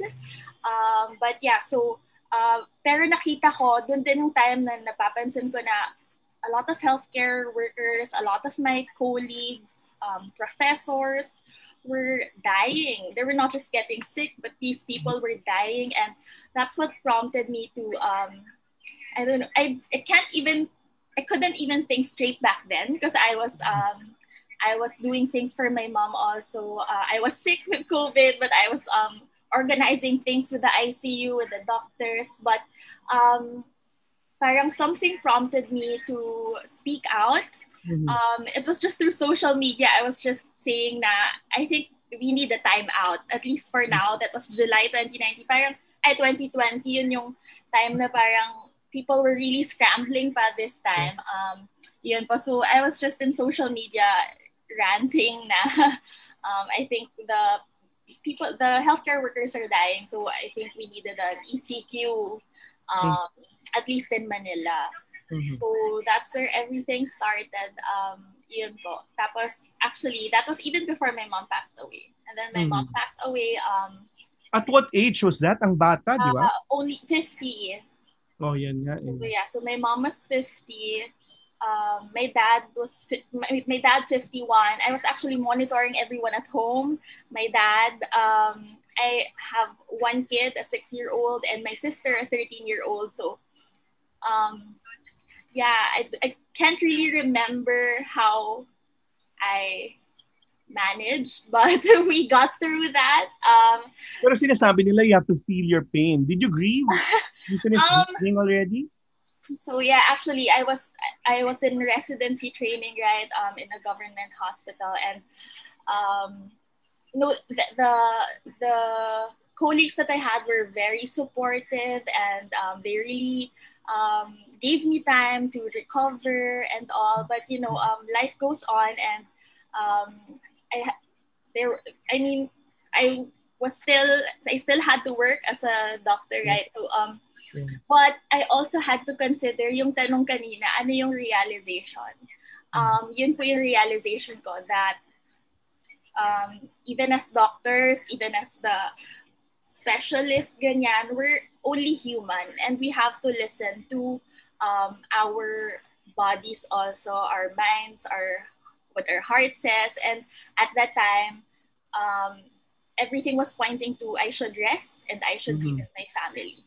So mm-hmm. that um, so I left. I left the hospital. I left training. You know, something that I worked so hard for. Um, getting there was not easy. I had to work through college and med school, you know. Mhm. Um, I thought I would have it all already as long as I worked hard. But, you know, these things happen and um, talagang mapapaisip ka kung ano yung priority mo for now. And um, I actually admire the other healthcare workers who got sick, um, namatayan, but they got to go back to their duties. But Mhm, mhm. um, yeah, I think some some people, I, my old self would say that parang weakness yon, just quitting and um, leaving, leaving um, the hospital. Pero um, now I see that it was also a strength because you know it also took a lot of courage for me to um, Mhm. realize that I I'm human and I need um, time to grieve, Yeah. and my family needs me.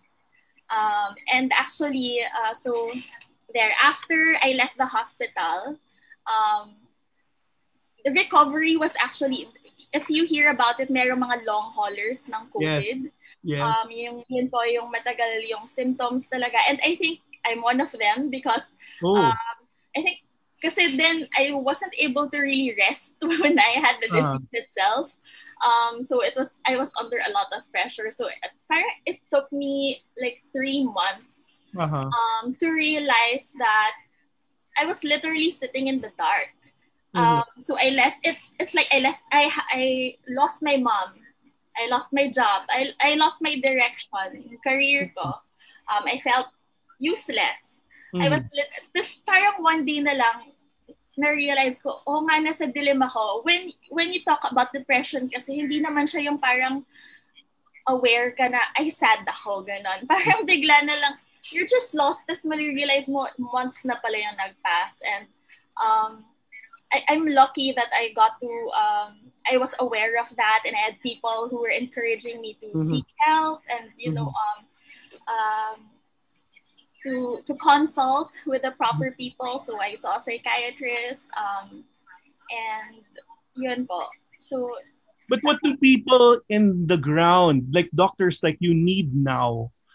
If you are like to to say yung yung ang mga pangailangan yung nasa ground ng mga doktor.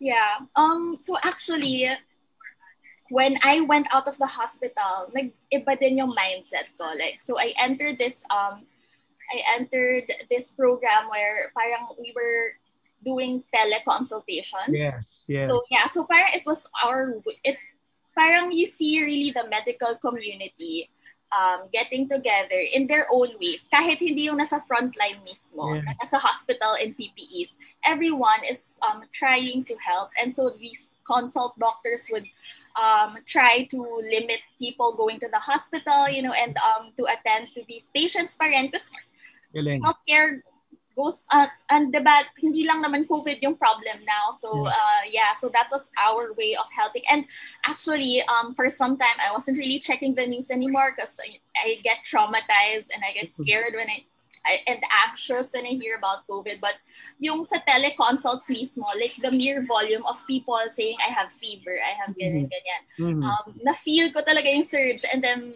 that's when the numbers showed already. Mhm. So um, actually kahit yung mga doctors in their homes um, answering to these patients, napapagod din. Okay. yeah, so and we get frustrated when parang the the policies don't reflect what we need. For example, like yung um, closing of the borders to from the travelers from India Yeah. uh, it took parang sobrang, parang medyo matagal. Like, we were discussing na sabi namin, ah, siguro deja vu. Deja vu what happened. I What know. the first, ano. Uh, pa- parang we were, siguro naman close na yung borders and then we check what they're still considering. Ah. um, walang action pa. Yeah. and then, true enough, um, I hear about, yun nga, some people tested positive and it's not really clear like um where are the other people who were with those positive patients parang ganon parang it's yung mga doctors and nurses and other healthcare workers wala naman sa amin yun eh. gagawin namin yung duty namin it's just that Mhm.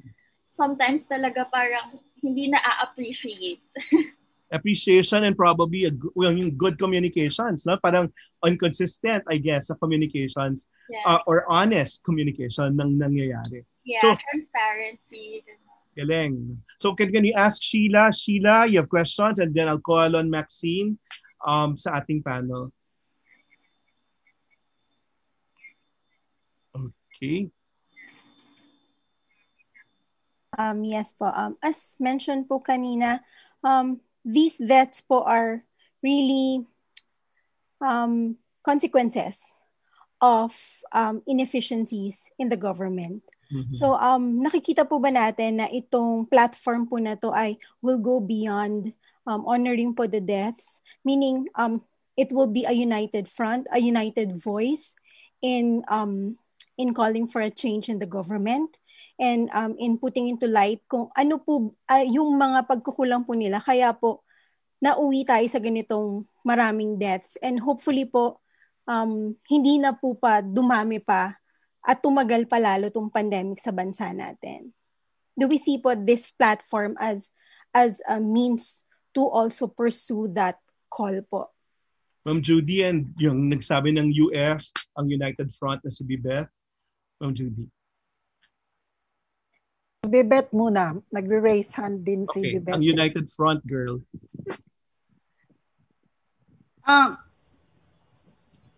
uh, Ariel, I was very impressed with what you were saying kasi yung mata mo bukas. Yung mata, mata mo was not darting from one side to another. I think I can see in you now a young girl who's pushing yourself to get back there. Hindi mo pinipilit, hindi ka nagmamadali. But there are things that you are arriving at sa sarili mong realization. Um, kasi ako bilib ako talaga sa mga doktor. Kapatid kong namatay, yung tatlong anak niya, yung isa, yung panganay niya, doktor na, um, residente sa ophthalmology sa PGH. Yung um, pangalawa niyang anak, entering into the third year, mag-ano na rin, um, uh, College of Medicine. Pati yung bunso, College of Medicine. Namatay ang tatay nila sa COVID. Wala silang, hey, ayoko na dyan. Um, itutuloy pa rin nila. And even, even my, my, my brother dati, nung buhay siya, inis na inis siya pagka mga tao sinasabi sa kanya, bakit mo kinakarir ang pagdoktor mo? Ang sagot niya, eh, ito ang karir ko eh. Ang maging doktor. Alam nga namang karirin ko pagkanta, hindi naman ako singer. Alam nga naman karirin ko pagsusulat ng script, hindi naman ako writer.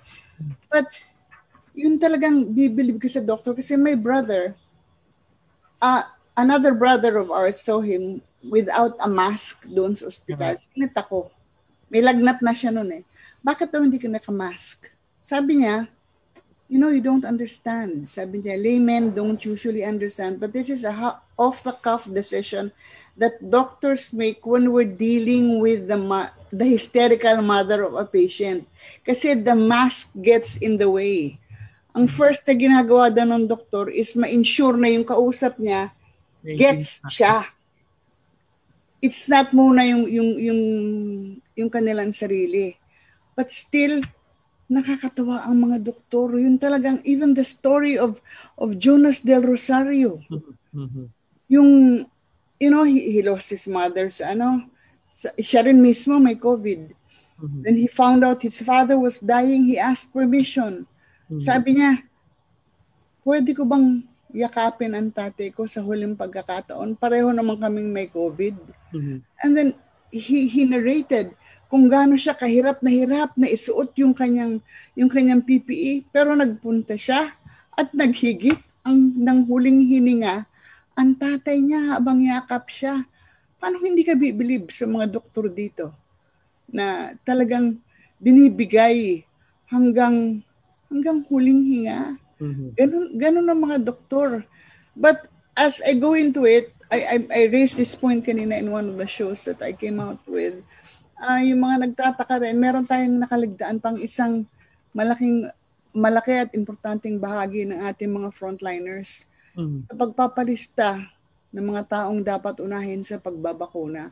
We neglected the kasambahays. Marami ang nagtataka bakit marami ang nagkakasakit pa rin ng mga senyora at senyorito na hindi naman lumalabas ng bahay. Sino ba namamalengke? Kasambahay. Sino ba nag-grocery? Kasambahay. Sino ba ang pupunta sa butika? Kasambahay.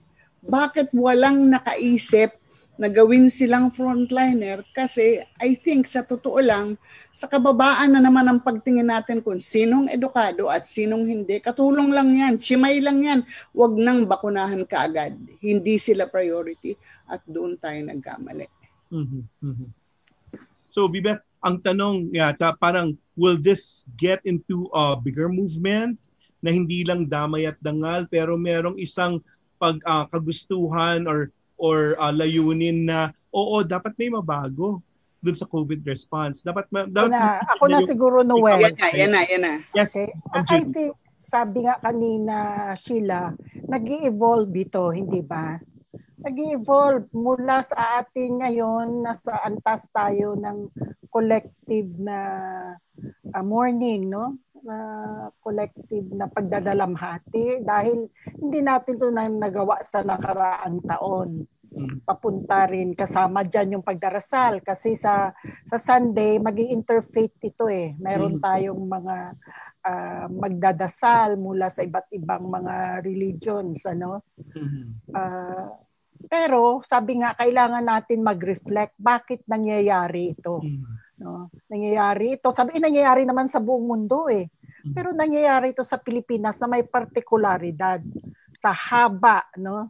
Sa tagal, sa dami ng mga frontliners na namatay, tsaka yung mga inhumane talaga na mga practices, no? Mga namamatay sa checkpoint o pinapush up, no?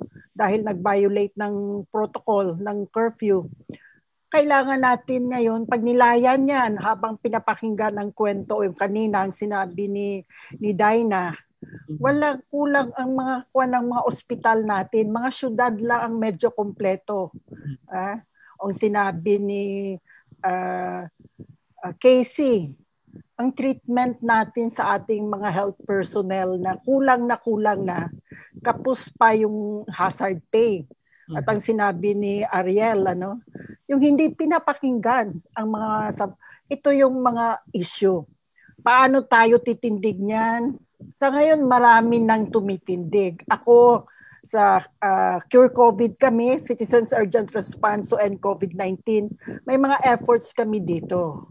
So pwede naman, kaya nga uh, ang Concerned Artists of the Philippines, meron din. Ang Promotion of Church uh, People's Rights, meron din. So siguro ganoon ang mangyayari habang patuloy natin na binibigyang dangal no at pakikiramay. Mas marami rin ang mamumulat sa pangangailangang kumilos, sa pangangailangang magkapit bisig para mabigyan talaga ang parangal ang mga namatay hindi lamang sa dasal at pagdadalamhati. Kuning sinabi ka nanday na mas magkakaroon ng pagbag, pagbabago sa sistema para sa susunod na henerasyon.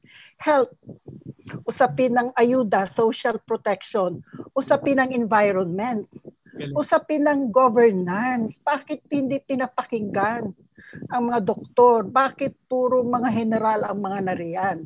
Mga tanong ito na kailangang pagninilayan natin. And damay at dangal will continue to raise these questions. No?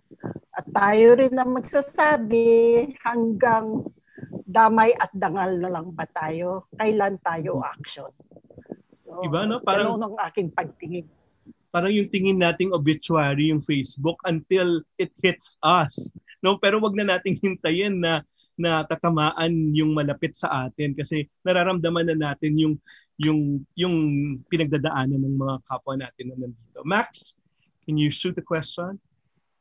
So all of the stories today are reminders that we're all only human and that we can all only endure so much. And because of this, like throughout the pandemic, I've had relatives and friends say that they want to live abroad just so they could experience like a maayos country in their lifetime. And it really made me realize that we've gotten used to accepting the bare minimum and sometimes even below the bare minimum. And we always look to these other countries to have a better standard of living. And I hope that someday we can also say that our country will do well, that we can trust that we'll be okay and we can somehow live comfortably. But speaking from my generation, will we ever improve or are there things we can do to make the necessary improvements? Paano yan? Lisa, ikaw ba yan? Ka-generation nila? yung um, sure, ang guro. I think ano eh, um, if that's why it's so important to know what we have and to remember. Kasi kung alam talaga natin and we um, we are aware of yung full extent of what our country has napakayaman ng bansa natin sa totoo kung tutuusin. We have um, not just natural resources but what the land the sea can give us um, what the people can do. Kung um, once we are aware of yung talagang potential ng bansa natin, I don't think anyone will ever want to leave the Philippines. Or people who are outside of the Philippines will always want to come back and help. Um, that's one thing that I think yung mga nasa itaas, yung those who are in power, always um, try to hide. What's the full extent of what we have? Kasi um, uh, once that's controlled, that really yields a lot of profit. But for whom? Uh, mm-hmm. Uh, it's usually for the 1%. And um, and I think yun yung isang realization ko from, from one year of the pandemic kasi parang we are on loop. And a lot of the problems that um, that were there before the pandemic, like the social divide sa atin, ang tindi. um, mm. Yung neglect of um, yung social systems natin, and we see that in the healthcare system, dama natin yan. It really hit us um, very close. Mm. Um, in 2000, 2020 up to now, no? Although even before, it's the poor who feel it the most. Pero ngayon talaga, naramdaman natin nung nagsaspike. Yung, yung things like these, yung problems that were not that are already there before for such a long time because of this um, um, inequality. Um, even yung yung um, rising threats to freedom of speech and expression, yung malaya kang pwede magsalita, kung ano yung tingin mo na mali, mm-hmm. ano yung dapat gawin, pati yun nawawala eh when ABS-CBN was closed and with all of the, the killings of media and and lawyers who are defending people's rights to speak up. All of these things um, doubled during the past year. And siguro this, um, and that's why I think a lot of us uh, um, try to continue. Um, and uh, kaya natin to ginagawa kasi it's really important to remember and to reach out. Um, it starts with acknowledging kasi with, ano eh, we acknowledge what we lost. Okay. And from there, we know where to um, to go. And um, yan, ito, this will get worse, I think, if we do not act and fight back. And um, yung Damay at Dangal, it's, um, that's one way of trying to create this and support this community, which, you know, is critical, which cares, and which wants to act. And one, one round of questions from the remaining uh, people in the Zoom. Tep? Yes po, sir. Um, you have any more questions to the panel? Um, yes po. Um, just like what what you, Sir Sir Chris said earlier nung nagtanong ako about do sa kung anong kung hanggang kailan yung initiative na ito. Um, I just wanna gusto ko lang po malaman kung magkakaroon din po ba ito ng parang symbolic symbolic campaign like um, sa mga ibang organizations, yung parang tipo magsisindi ng kandila sa kanya-kanyang mga bahay o magdi-display ng any ribbons or Something like that, na magkakaroon siya ng parang a display of support and yeah. Yung director kailangan ng sumagot John Cricks ulit. Okay. Um of course we want that, no? Kasi gusto namin lahat ng tao mag-participate sa um sa, sa, sa ganitong pagkakataon no um kung gusto nating maglagay ng or magtirik ng kandila sa harap ng bahay natin gawin natin 'yon kung gusto nating maglagay ng altar para bigyan ng parangal yung ating mga kamag-anak na namatay, gawin natin yon. Kung gusto natin maglagay ng tarpaulin at ilagay na mahal ka namin, tatay, parang ganon, ilagay natin yung gawin natin yon. Lahat ng simbolo ng um, pagbibigay pugay sa ating mga namatay na kamag-anak, gawin natin, lalong-lalo na sa harap ng bahay natin. Para ipakita natin no, na nag nag-grieve tayo or nagbo-mourn tayo. Yun lang. So But, yun pala, yun yung call natin no on Sunday, yun kunan, tapos yun i-post tapos with the hashtag damay at dangal. Yes, Beth?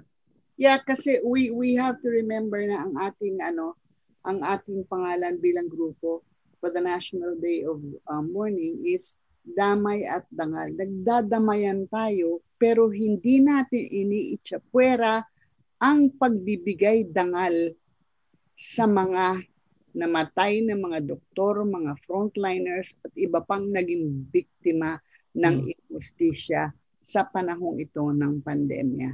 Mhm. Damay at dangal, they go hand in hand. Mhm. Hindi ko sina- hindi natin sinasabing maawa tayo sa ating sarili, tayo-tayo na lang. Hindi. We have a right to demand this. Mhm. Taas noo. We have a right to claim this. So sa PUP, ang dami no doon, Tep. Siguro unahin mo yung mga kasama ninyo dyan sa PUP tapos yun, mag-post lang, hashtag damay at dangal, tapos yun lahat ng mga pinagluluksa natin at pinagbibigyan ng damay. Angelica, go. Isang ikot na lang ng tanong. Sir, may isa pang taga-PUP. Ah, si Erwin. Yeah, si Erwin nakausap natin kanina. Si Erwin, Erwin at Angelica, ayan. Hello po. Sige, go. May tanong ka pa, Erwin. Ah, tanong ko lang apo. Um ito ito naman po ay isang ano, ah, kumbaga rhetorical or philosophical question lang po. Lalo pare-pareho naman po tayong ah critical din sa pamahalaan. Sa tingin niyo po ano po yung extent ng ng accountability nila sa mga non-COVID cases din?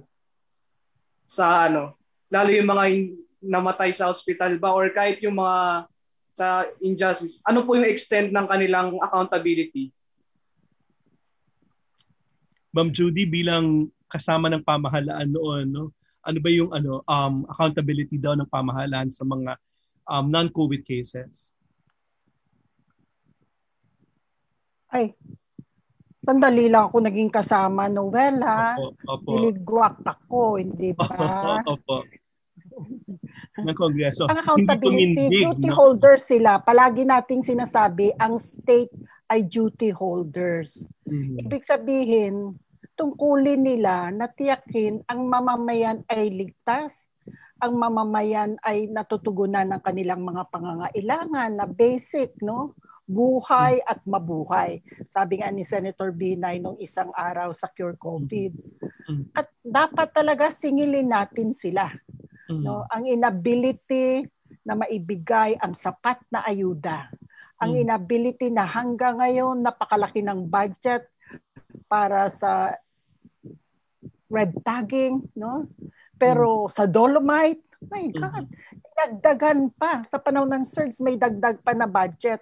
Habang nakita natin, ano, kulang na kulang ang testing. Mass testing yung isa sa mga parangalan natin, ano, yung tatay niya bombero, na retired, namatay, hindi man lang ma-confirm kung COVID kasi wala silang pambayad sa testing. At yun, matagal na natin eh, March 2020, hiningi na natin ang mass testing. 50,000 minimum. Hanggang ngayon, one year after, 30,000, 40,000. Ang bakuna, last December pa nila sinabi yan. Pautay-utay ngayon ang pasok ng bakuna. So may karapatan tayo talaga na singilin ito. At may karapatan din sana tayo na mapakinggan sa debate. No? Ang presidente at ang justice, no, si Justice Carpio, na nakalungkot, umatras pala ang nagbigay ng hamon. So yes, they are responsible. They should be held accountable. Correct. Um, James, um, can you shoot the last question? Ah, napansin ko po no dun sa tit dun sa tawag po natin dun sa grupo which is damay at dangal. Those are two powerful words na I I uh, iron irony siya nung nangyayari ngayon. No, imbis na damayan tayo ng ating sariling gobyerno, pinababayaan tayo. Yung dangal na meron tayong taglay-taglay but because of you know the petty things they love to meddle with nawawala yung dangal ng Pilipino. And of course, as government officials, And as, uh, as citizens, we demand the, the highest standard. Tanong ko lang po kina Ma'am Bebeth, kay Ma'am Judy, kay Sir Crix, nung panahon po ninyo na ang na ang komunikasyon po natin ay tumatakbo sa radyo, TV, sa newspapers. No, I I'm so amazed that during your time, I mean the historic uh, the historic events that happened in the Philippine history happened in your time. Uh, EDSA, uh, all of those demonstrations.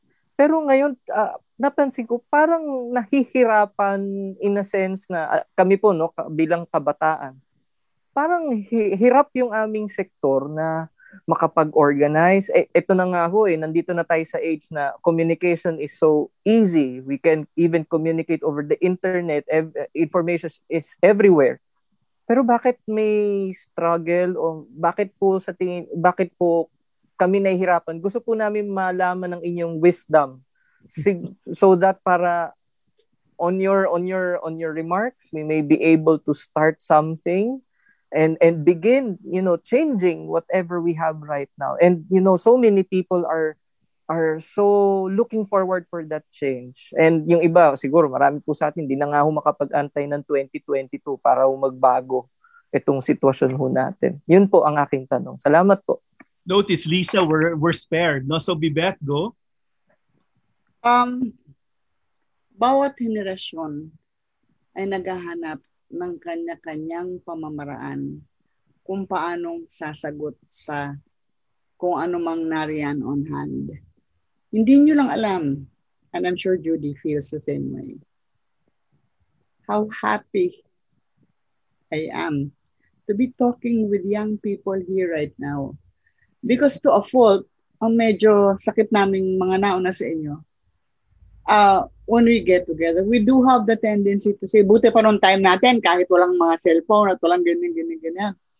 But I tell you, bawat henerasyon ay naghahanap ng kanya-kanyang paraan. Um, we don't know how we did it. And I'm sure Judy has done so much more. Pero we will get there. We will get there. Alam mo kung bakit ko alam, James? Nag-uusap na tayo eh. Mm-hmm. Mm-hmm. We are wondering about this and we are wondering about that. In other words, we are already moving to the aphorism. Ito lagi-lagi inuulit and then sa una mo itong marinig, you shrug it off and then as you get a little older, as you see the things that are happening every day, you realize the one thing that was, was true then and true again. The only way for evil to triumph is when good men do nothing. And women. Sapol. Sapol. Yes, Sir Crix. Um, dadagdagan ko pa ba yung sinabi ni Bibet? Um, magkaiba kami ng henerasyon nila Bibet sa kanila ni Julie. Oo! Senior si Crix. Oo, premature graying lang siya. Wala pa siyang senior citizen ka. Hindi okay. pa senior citizen, maputi lang buhok ko. Okay. Um, alam mo, iba yung ano, um, kailangan may dedikasyon ka sa pagmamahal mo sa bayan mo. Mm-hmm. Alam mo yon Um, mm-hmm. Kung na-experience mong mahiga sa sa kalye, no? mm-hmm. during during the time nung uh, first EDSA revolution, no? Mm-hmm. Nasa recto kami, nakahiga kami sa kalye, ni na umalis si Marcos. Alam mo yun, kumakain kami sa plastic. no, um, it's more of dedication. Saka yung kailangan ituro nyo sa bawat isa, lalo sa kabataan ngayon, yung pagmamahal sa bayan. Mm-hmm. No? Kung paano mo mamahalin yung bayan at paano mamahalin yung kapwa mo. Yung paano mo, um, di ba, pagka sabi nga ni Bibet noon, um, titingin ka sa kabila, sa kaliwa mo, titingin ka sa kanan mo, may kinakain ba yung mga katabi mo? Mm-hmm. May hawak-hawak ang isang balot ng biskwit. Bibigyan mo ba sila? Mm-hmm. No, 'di ba? Parang kahit na hindi ka aktivista eh, kahit hindi ka, alam mo yon kung marunong kang, kung alam mo tumingin sa kapwa mo at mahal mo yung bayan mo, ganun kasimple lang yon Siguro sa kabataan ngayon, dapat ma-realize nila na ganun yung pagmamahal sa kapwa at pagmamahal sa bayan. It's you know? beyond. Dagdag, dagdag ko lang ano. Yeah. Ang pagbabago kasi ngayon, James, sa punto ng globalization. Wala yan sa panahon ng nag-aaral ako sa UP Mm-hmm. Wala itong internet, no? kahit yung TV, limitado lang ang meron. Walang cellphone. Mm-hmm. Ang downside sa globalization, ina-highlight ang individualism at consumerism. Eh, no? Actually, bago pa ng COVID-19, meron ng social distancing mm-hmm. na nangyayari. Mula doon sa may access sa internet, anong digital divide, may mm-hmm. access sa resources, may access sa high-paying job, tsaka wala. Mm-hmm. Uh, so yun yung kailangan i-break ng malakas. That sense of physical distancing and social distancing ang pangangailangan ng social solidarity. Ganda. Ito yung nangyari ng henerasyon namin. Kailangan at patuloy na nangyayari ngayon. Kailangan palakasin lang natin sa usapin ng palaging pagtanong sa sarili para kanino tayo. No? May iba't ibang sagot yan yung Ateneo, a person for others. May sagot dyan ang Lasal, may sagot dyan ang UP. Pero at the end of the day, sinasabi sa kabataan, kayo ang pag-asa ng bayan. Sino ba ang bayan? Galing. So itong Mother's Day talaga, balik tayo. Hindi lang yung nanay natin, ang mga nanay ngayon ni Dinah, ang nanay ni Casey, ang nanay ni Ariel, no? Bahagi sila ng pinagluluksa natin.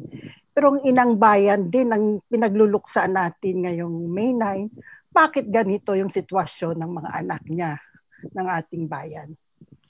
Kakilabot lang at ibabalik ko nga doon sa Mother's Day celebration.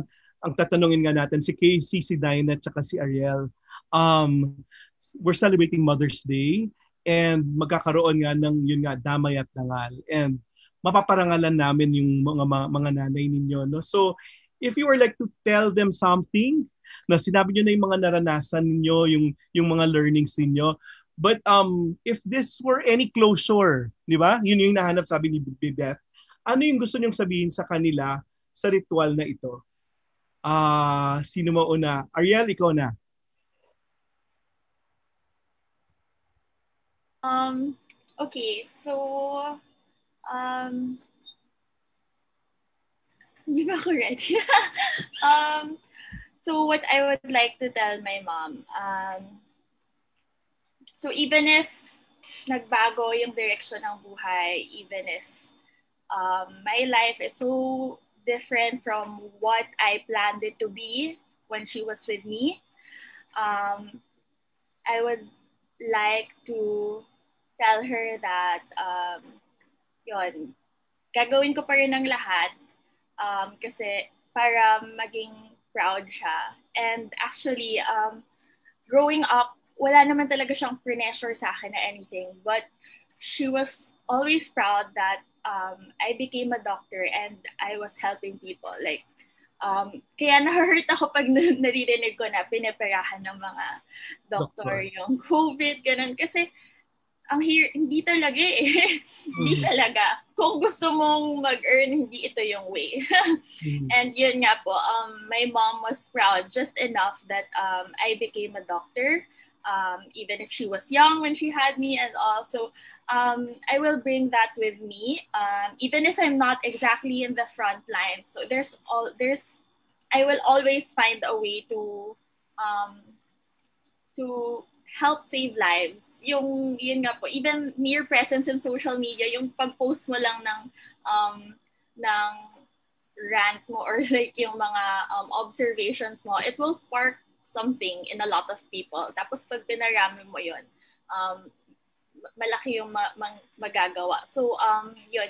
Bottom line is, I will never stop caring. Um, minsan gusto ko nang mag-stop mag-care kasi nakakapagod, tsaka mm-hmm. nakakalungkot. Mm-hmm. Pero um, hindi mo siya hindi mo siya ma-shutdown eh. Minsan inisip ko dahil dahil ba to sa um, UP background ko, ganun. dahil ba to doctor ako. Pero parang um, in the end, inisip ko dahil ito sa pagpapalaki ng nanay ko. So, um, yun.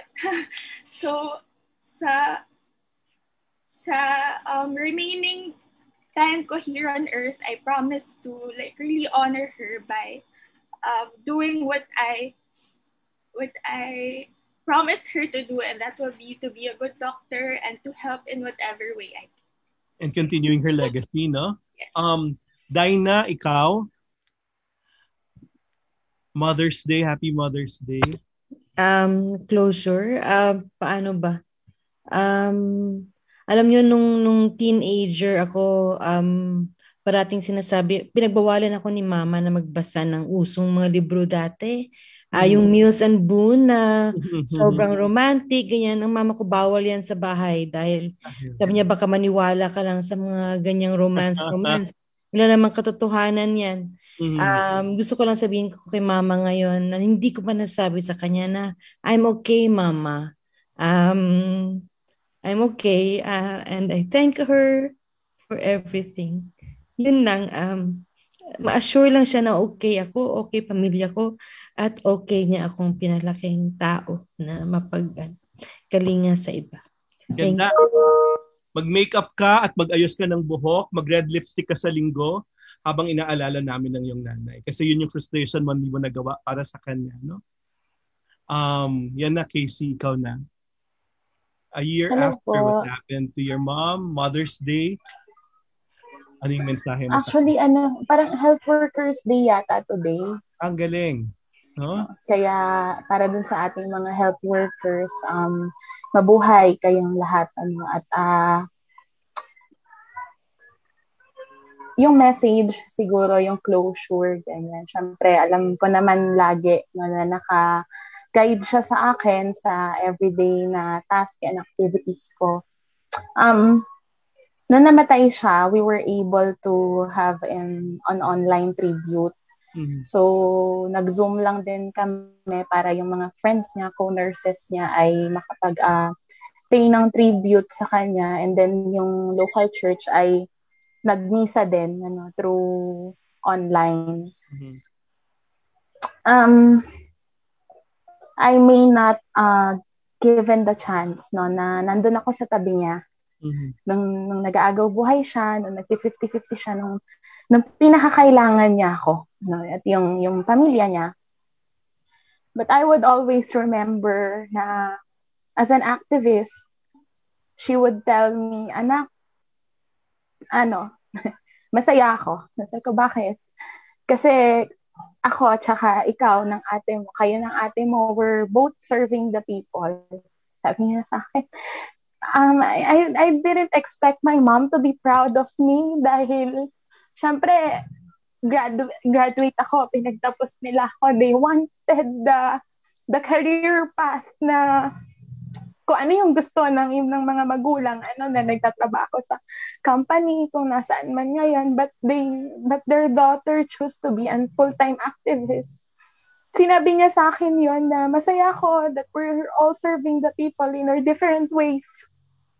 And she was really worried that time na na ito na, yung may anti-terror law sa inisip niya, anak magma-martial law na.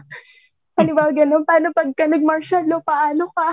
ganun. Um, so yun, ah, alam ko, nag, ginagabayan niya ako no, nas, nasan man ako ngayon at uh, ganun din yung mga kaibigan niya, yung mga kapatid ko. And I would be very, I would always be thankful. Ano? Kasi eto ako ngayon, marangal akong tao at mabuti akong tao dahil sa paano ko pinalaki ng nanay ko, ng mga magulang ko. Salamat po. It's all rootedness in that. All rooted in that. Lisa, Sandali, final sandali, remind. ah, Noel, Yes, yes, yes. Bibel. ah, Casey, nagpapasalamat ako sa nanay mo. Mhm. Salamat. At nakita ko sa mukha mo, mas proud ka sa kanya. Mhm. sa kanya sa'yo. Sobra salamat, Salamat ang maraming maraming. Ah, and all the health workers, kasi health workers day ngayon. Lisa, final reminders for our activity on Sunday, our kickoff activity on Sunday. So, sa Sunday po, um, ah, sana suportahan po natin yung at panoorin yung Damay at Dangal event um, which will be streaming live on the pages of Radyo Katipunan, CAP, and Open to Cross Posting. Um, It will start at 5 p.m. po and before that we um ine-encourage namin yung lahat to to post and to share with the hashtags damay at dangal um about that day. So um let's all give honor to the people and the memories that we have of them uh, by sharing what we can. Um, and kahit magkakahiwalay tayo, um, and we try to connect through digital means like the online tribute and the hashtags um, we'll find a way to all be together on Sunday um, to para magbigay ng damay at dangal para sa ating uh, minamahal sa buhay at para sa ating bayan. Maraming salamat Lisa and happy Mother's Day to Crix. Naka-batch ni Nalbibeth at ni Ma'am Judy. Yeah, maraming maraming salamat po no. Um sobra emotional tong program mo, Noel. um, dito na magkakaroon ng storya kasi yun nga parang um, abridged, medyo abridged yung version pag guessing sa TV, di ba? May, may airtime na inaalala. Tapos yun okay. nga, sa, sa activity natin, medyo timed, no? Um, Crix? Yes po. No, um, so, um, iniimbita, inuulit ko po, no? Iniimbitahan namin kayo sa um, 9 ng Mayo, no? alas 5 ng hapon Um, hindi lang po ito isang pagkakataon. Um, every month po gagawin namin ito na pagbibigay pugay sa mga namatay nating mga kamag-ana, kaibigan, kapatid, no? Sa lahat po. No? Um, uh, kailangan po natin silang bigyan ng dangal. Maraming po salamat. Uh, happy Mother's Day, Bibeth. Maraming salamat sa iyong paglalagari buong araw ngayon. At dito nagtatapos nga sa pag rinig sa mga storya ng ating mga kasamang pinararangalan din. Any final reminders, Bibeth, and final words from you? Happy Mother's Day too. Lalampasan natin ito. Mm-hmm. Kakayanan mm-hmm. natin ito. Mm-hmm. Dahil hindi na lang tayo nag-iisa. Magkakasama na tayo. At meron tayong nilalayong gawin at yun ay ating makakamtan. Maraming salamat, Bibeth. Happy Mother's Day then, Manay Judy. Any final word para sa ating mga nakikinig at mga kasama sa Zoom? At ito na yung bibigay natin Maraming sa salamat. Maraming salamat, Noel. Maraming salamat sa lahat na rito ngayon. No, si Ariel, si Dinah, si Casey, at ang mga representative ng iba't ibang school. Gusto ko lang idagdag na pasasalamat na no para sa sa May 9 kay uh, Isa Calzado na pumayag na maging host no? Uh, ang mga kanta na original no mula sa tula ni Nicolas Pechay Pechay at ni Joy Barrios mga Palangka Award winners na nilagyan ng musika ni Krina Kayabyab at ni Fabian Obispo no? At ang mga uh, religious na maging bahagi ng uh, programang ito. Sabi nga, parang community efforts ito. Lahat volunteer ito para sa ang social solidarity na pinakita sa community pantry ay pinagpapatuloy natin ang social solidarity sa ating hashtag damay at dangal. So Sheila, Tep, Maxine, James, lahat na Erwin at uh, at lahat na nandito. Yon, sabihin na sa mga ka-school niyo na mag-post mag-post at pumunta na rin sa Facebook page ng Damay at Dangal. Kasi sabi ni Ma'am Judy, dapat dumamay yan every month at lol, maumuna yan, i-kick off yan sa linggo. Maraming salamat. Yun nga, yung realization is that siguro marami tayong natututunan ngayong pandemya pero kaya siguro hindi pa rin talaga tapos kasi marami pa tayong dapat matutunan. And then yung balik ng balik talaga na ano na salita sa akin. Um, until we learn as a people, we will continue to suffer. Pero yun na nga, ito yung mga ganitong efforts yung nagbubuklod sa atin para uh, pabutihin pagpaputihin ng ating buhay. So, maraming salamat. Uh, pagpatuloy natin yung pagdamay at pagbibigay dangal sa isa't isa at sa ating bayan. Maraming salamat at ah, uh, makikita pa rin tayo sa Level Up. See you on Sunday at 5 o'clock. Maraming salamat po. Yung maka- mapapanood nyong kanta ngayon, galing sa Mayi, kanta po ni Rafa Sigion Reyna. Ito po yung existing song niya na ang tawag ay Song of Tomorrow. Pero sa linggo, may bagong twist yan, may bagong video sa kasama. Pero ito, sana maging pamilyar na to sa inyo kasi sa linggo, ibang mga visuals, mas updated yung visuals na makikita. So maraming salamat, iiwan namin kayo sa kantang ito ni Rafa Sigyon Reyna. Maraming salamat and see you on Sunday.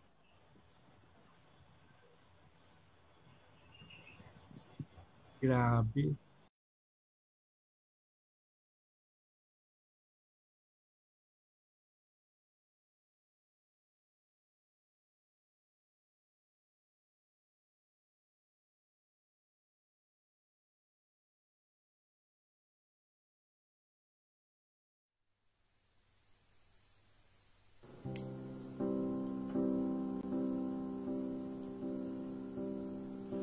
Eu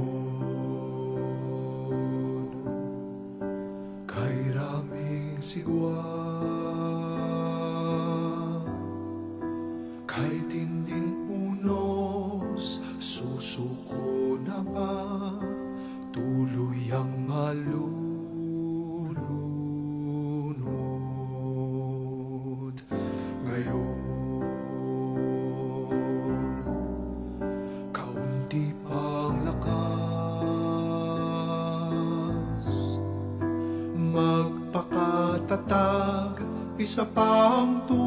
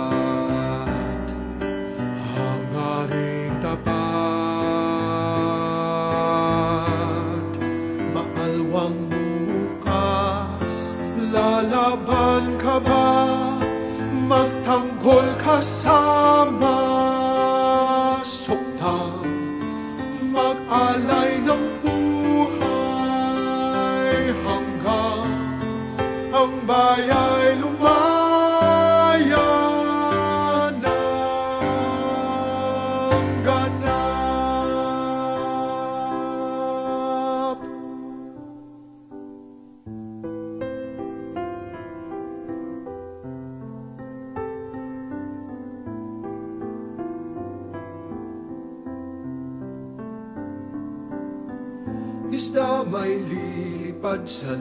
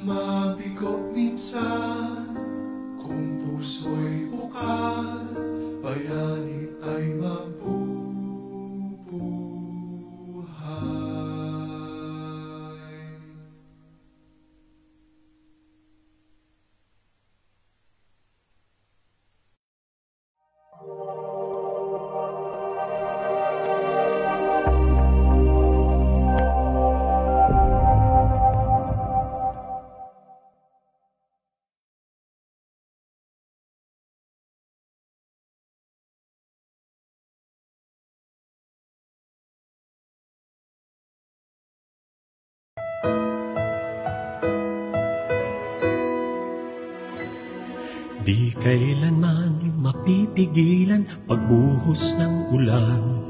Ang buhay sadyang ganyan. At kaya ng papago-pagong paghihip ng hangin Lahat ay lilipas at magsasalita.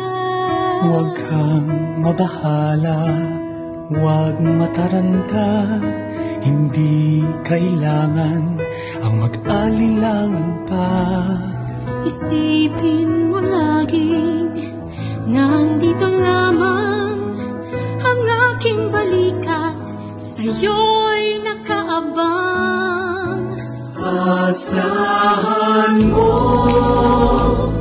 hindi ka iiwan sa mundo. Lahat may hangganan, asahan mo.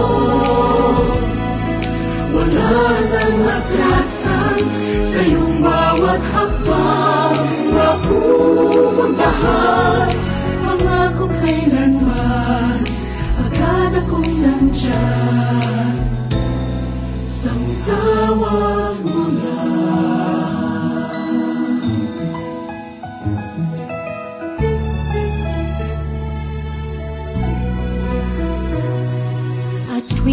nagdidilim ang langit Di ba't nagpapakita ang buwan. Hanggang mag-umaga na naman. Tara't hintayin na natin Sikat ng iyong araw hanggang sa magliwanag muli ang lahat. Asahan mo, hindi ka iiwan sa mundo. Lahat may hangganan, asahan mo. Wala nang atrasan sa iyong bawat hakbang na pupuntahan. Pangako kailanman,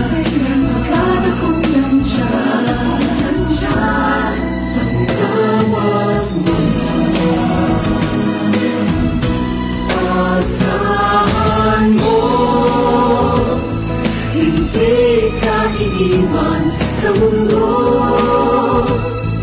Lahat may hangganan asahan mo. Wala nang atrasan.